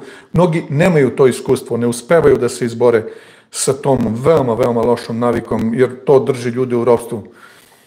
E, čudo je to da smo sam od momenta kad sam se digla s molite da me e, Bog oslobodio od cigareta, slediti 48 sati spavala sam u komadu bez tableta i nisam bila umorna. Nakon ta dva dana lakše sam podnosila, pa jeste ta prva kriza dok prođe, ja nisam nikad pušio pa ne znam kako je, ali svi oni koji su pušači kažu da je to vrlo, vrlo mučno i vrlo teška borba. Zašto za sve se moliti Bogu nema slobode od greha bez krsta? Tako je i mo, svako mora to onako celim srcem. Mi kada se molimo Bogu celim srcem, onda imamo zaista, zaista velika iskustva sa Bogom. U daleko, Karlu, u dalekoj budućnosti ja mislim da neće biti, e, da neće više biti ljudi na zemaljske kule. Da li je to tačno? To nije tačno. E, zemlja prvo nije kugla, nego je nešto drugo, terarijom, e, to dokle god, dokle god postoji Bog, postojeće i ova, ovaj naš svet, i ne samo ovaj naš svet, već i svi ostali svetovi, i kada bude bilo novo nebo i nova zemlja, onda to stoji tako za večnost. Znači, e, nema kraja, to, to, samo će biti sve uređenije i uređenije, sve lepše i lepše, jer ćemo i mi u tome učestvovati da to bude lepše. E, Gorica Lalević, hvala Gorane, divni ste, svako vam dobro od Boga, zaista će biti tako kako ste kazali, tako meni izgleda u istom trenutku dolazi naš istiniti Bog, hvala Bogu na svemu, amin, neka je slava Bogu. Krštenica iz crkve gde smo kršteni kao bebe, kako da postupimo, pa tamo krštenica ne vredi ništa, badava, badava to, znači to krštenje kao bebe ne vredi ništa, zato što vi morate da spoznate kakva je istina u Bogu i da odlučite da živite po toj istini, a vi kao bebe to ništa niste znali. Znači, tek kada saznate svoju istinu i odlučite da živite tako, Bog, tako kako Bog zapoveda, onda to ima smisla. Tako da te krštenice ne morate tražiti jer vam neće biti od velike koristi. Pred Bogom, naravno. E, kako donirati iz Hrvatske za Božju reč? Pa to je najlakše preko Western Uniona. Molba Gorane, brate, nemam pitanje, imam molbu za molitvu moje supruge njeno ozdravljenje. Pa eto, kad kasnije se budemo molili, ja ću napraviti onu pauzu, pa onda ćete vi to spomenuti i ja ću onda to nekako sve obuhvatiti. Da bi bila spašena moram prestati pušiti. Hvala. Naravno da spasenje ne zavisi od toga, ali ako već sledim Boga, zašto bi ja bio rob cigaretama. Bog može da nas oslobodi toga, tako da treba se toga osloboditi i imati iskustvo sa Bogom kao što je Monika imala. Traje napad na Moskvu. Pa ne bi me čudilo jer ovi stalno nešto s nekim dronovima gađaju. Dobro, evo sada je 20.42, jako sam ja to odužio. Vreme je da se molimo Bogu. Evo imamo i potrebu um, za molitvu za ozdravljenje supruge, uh, ovog našeg prijatelja ovde ili brata. pa ćemo se moliti sada i ja ću napraviti onu pauzu da vi iznesete potrebu za bolesne, to sve što imate i onda ću to nekako da se obličim kao što sam to i do sad činio, da ne pišem imena jer onda neko pročitam, neko ne pročitam, neko napišem pogrešno i to sve jednostavno uzima dosta vremena, ovako ćemo svi da učestvujemo u molitvi zajedno. Dakle, tu gde ste vi pred Bogom iznesete to što je vaša potreba. Veliki sili naš Bože, hvala neka ti je sila, moć i čast na tvojoj ljubavi i milosti. Hvala neka ti je za tvog sina Hrista, našega spasitelja. Hvala neka ti je što kroz njegovu krv i kroz njegovu žrtvu smo postali tvoja deca. Blagoslovi nas, blagoslovi sve prijatelje ovde koji su prisutni na kanalu, koji su čuli tvoju reč, tvoju vest, koji žele da dođu tebi, da ti predaju svoje srce, koji imaju iskustva sa tobom kao Monika u ostavljanju cigareta i mnoga druga iskustva, verujem da kada bi svi to iznosili, mnoga bismo fantastična iskustva mogli da čujemo. Blagoslovi nas u ovom vremenu haosa, rata, nemira, znamenja koje se ispunjavaju svuda oko nas, koja svedoče da je Hristov dolazak pred vratima. Blagoslovi nas da gledamo ta znamenja, da verujemo u Tebe, i da smo ti predani celim srcem, umom i bićem. Blagoslovi naše domove i naše porodice i daj da imamo istinsku veru, da možemo hrabro da nosimo tvoj krst, Hriste, caru naš, da smo ti predani celim srcem, umom i bićem, da budemo zapečaćeni na svojim čelima i da ime e, Božje bude na našim čelima, da niko od nas ne primi žig. Ti nas, Bože, pripravi za tvoje večno carstvo, za tvoj drugi dolazak, za susret sa tobom, Molimo te sada u ovom trenutku za bolesne kojih ima jako mnogo i prolaze mnogo naših milih i dragih kroz tešku agoniju, kroz teške bolesti. Neki boluju od kancera, neki boluju od visokokrvnog pritiska, neki boluju od srčanih problema, neki imaju mentalne i zdravstvene probleme, neke bole kolena, nekog bole noge, nekog boli kičma, neko ima išijas, neko ima problema sa želucem, neko sa plućima. Bože naš nebeski, Evo nas, koliko nas ima sada ovde, u narednim trenucima mi ćemo izneti te naše potrebe, predate da ti isceliš naše mile i drage za koje se mi svakodnevno molimo tebi.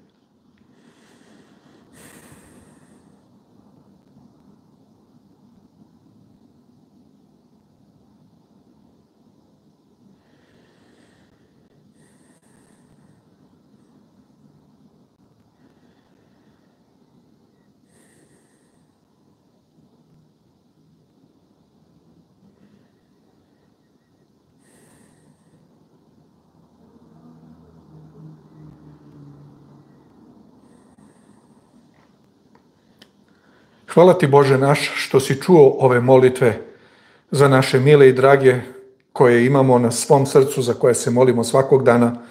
Blagoslovi ih i usliši nas. I proslavi se u našim životima i životima one za koje se molimo, za njihovo iscelenje, za njihovo ozdravljenje, za silu nad njima, nad njihovim domom. Blagoslovi i one koji su na ratištima tamo u Ukrajini, Rusiji, Ukrajinci druga vojska i tamo Palestinci Izraelci, daj svemogući Bože svima njima miru srce da se predaju u Tvoje ruke. Velike su neprijateljstva, veliki je animozitet među narodima, među ljudima, ali Ti blagoslovi one iskrene duše da se predaju u Tvoje ruke i da se svi mi predamo u Tvoje ruke, da budemo Tvoji i da budemo na blagoslov drugim ljudima oko nas. Ti budi naša prednja i zadnja straža, čuvaj nas u toku ove noći i hvala neka ti je za šabat i za odmor koji imamo u tebi, da tebi neka je sva zahvalnost, sila, moć i čast na uslišenoj molitvi i uslišenim molitvama u ime ljubljenog Sina Hrista do veka večno i u sve vekove vekova. Bože naš. Amin. Hvala vam, dragi moji prijatelji, što ste bili večeras sa mnom na kanalu. Neka vas Bog sve blagoslovi i hvala adminima i adminkama što ste se to pobrinuli da je sve lepo funkcionisalo. Ako Bog da, sledećeg petka nastavit ćemo dalje. Biće reči o molitvi, onome što, smo, što je za sve nas vrlo značajno. Šta je molitva, kako da se molimo, šta treba da uradimo da nas Bog čuje i tako dalje. Tako da ćemo sledećeg petka o tome razmišljati, o našem odnosu, najdirektnijem odnosu sa živim Bogom. Želim vam laku noć, lep šabat i Bog sa svima vama neka je lep pozdrav od mene. Pozdrav!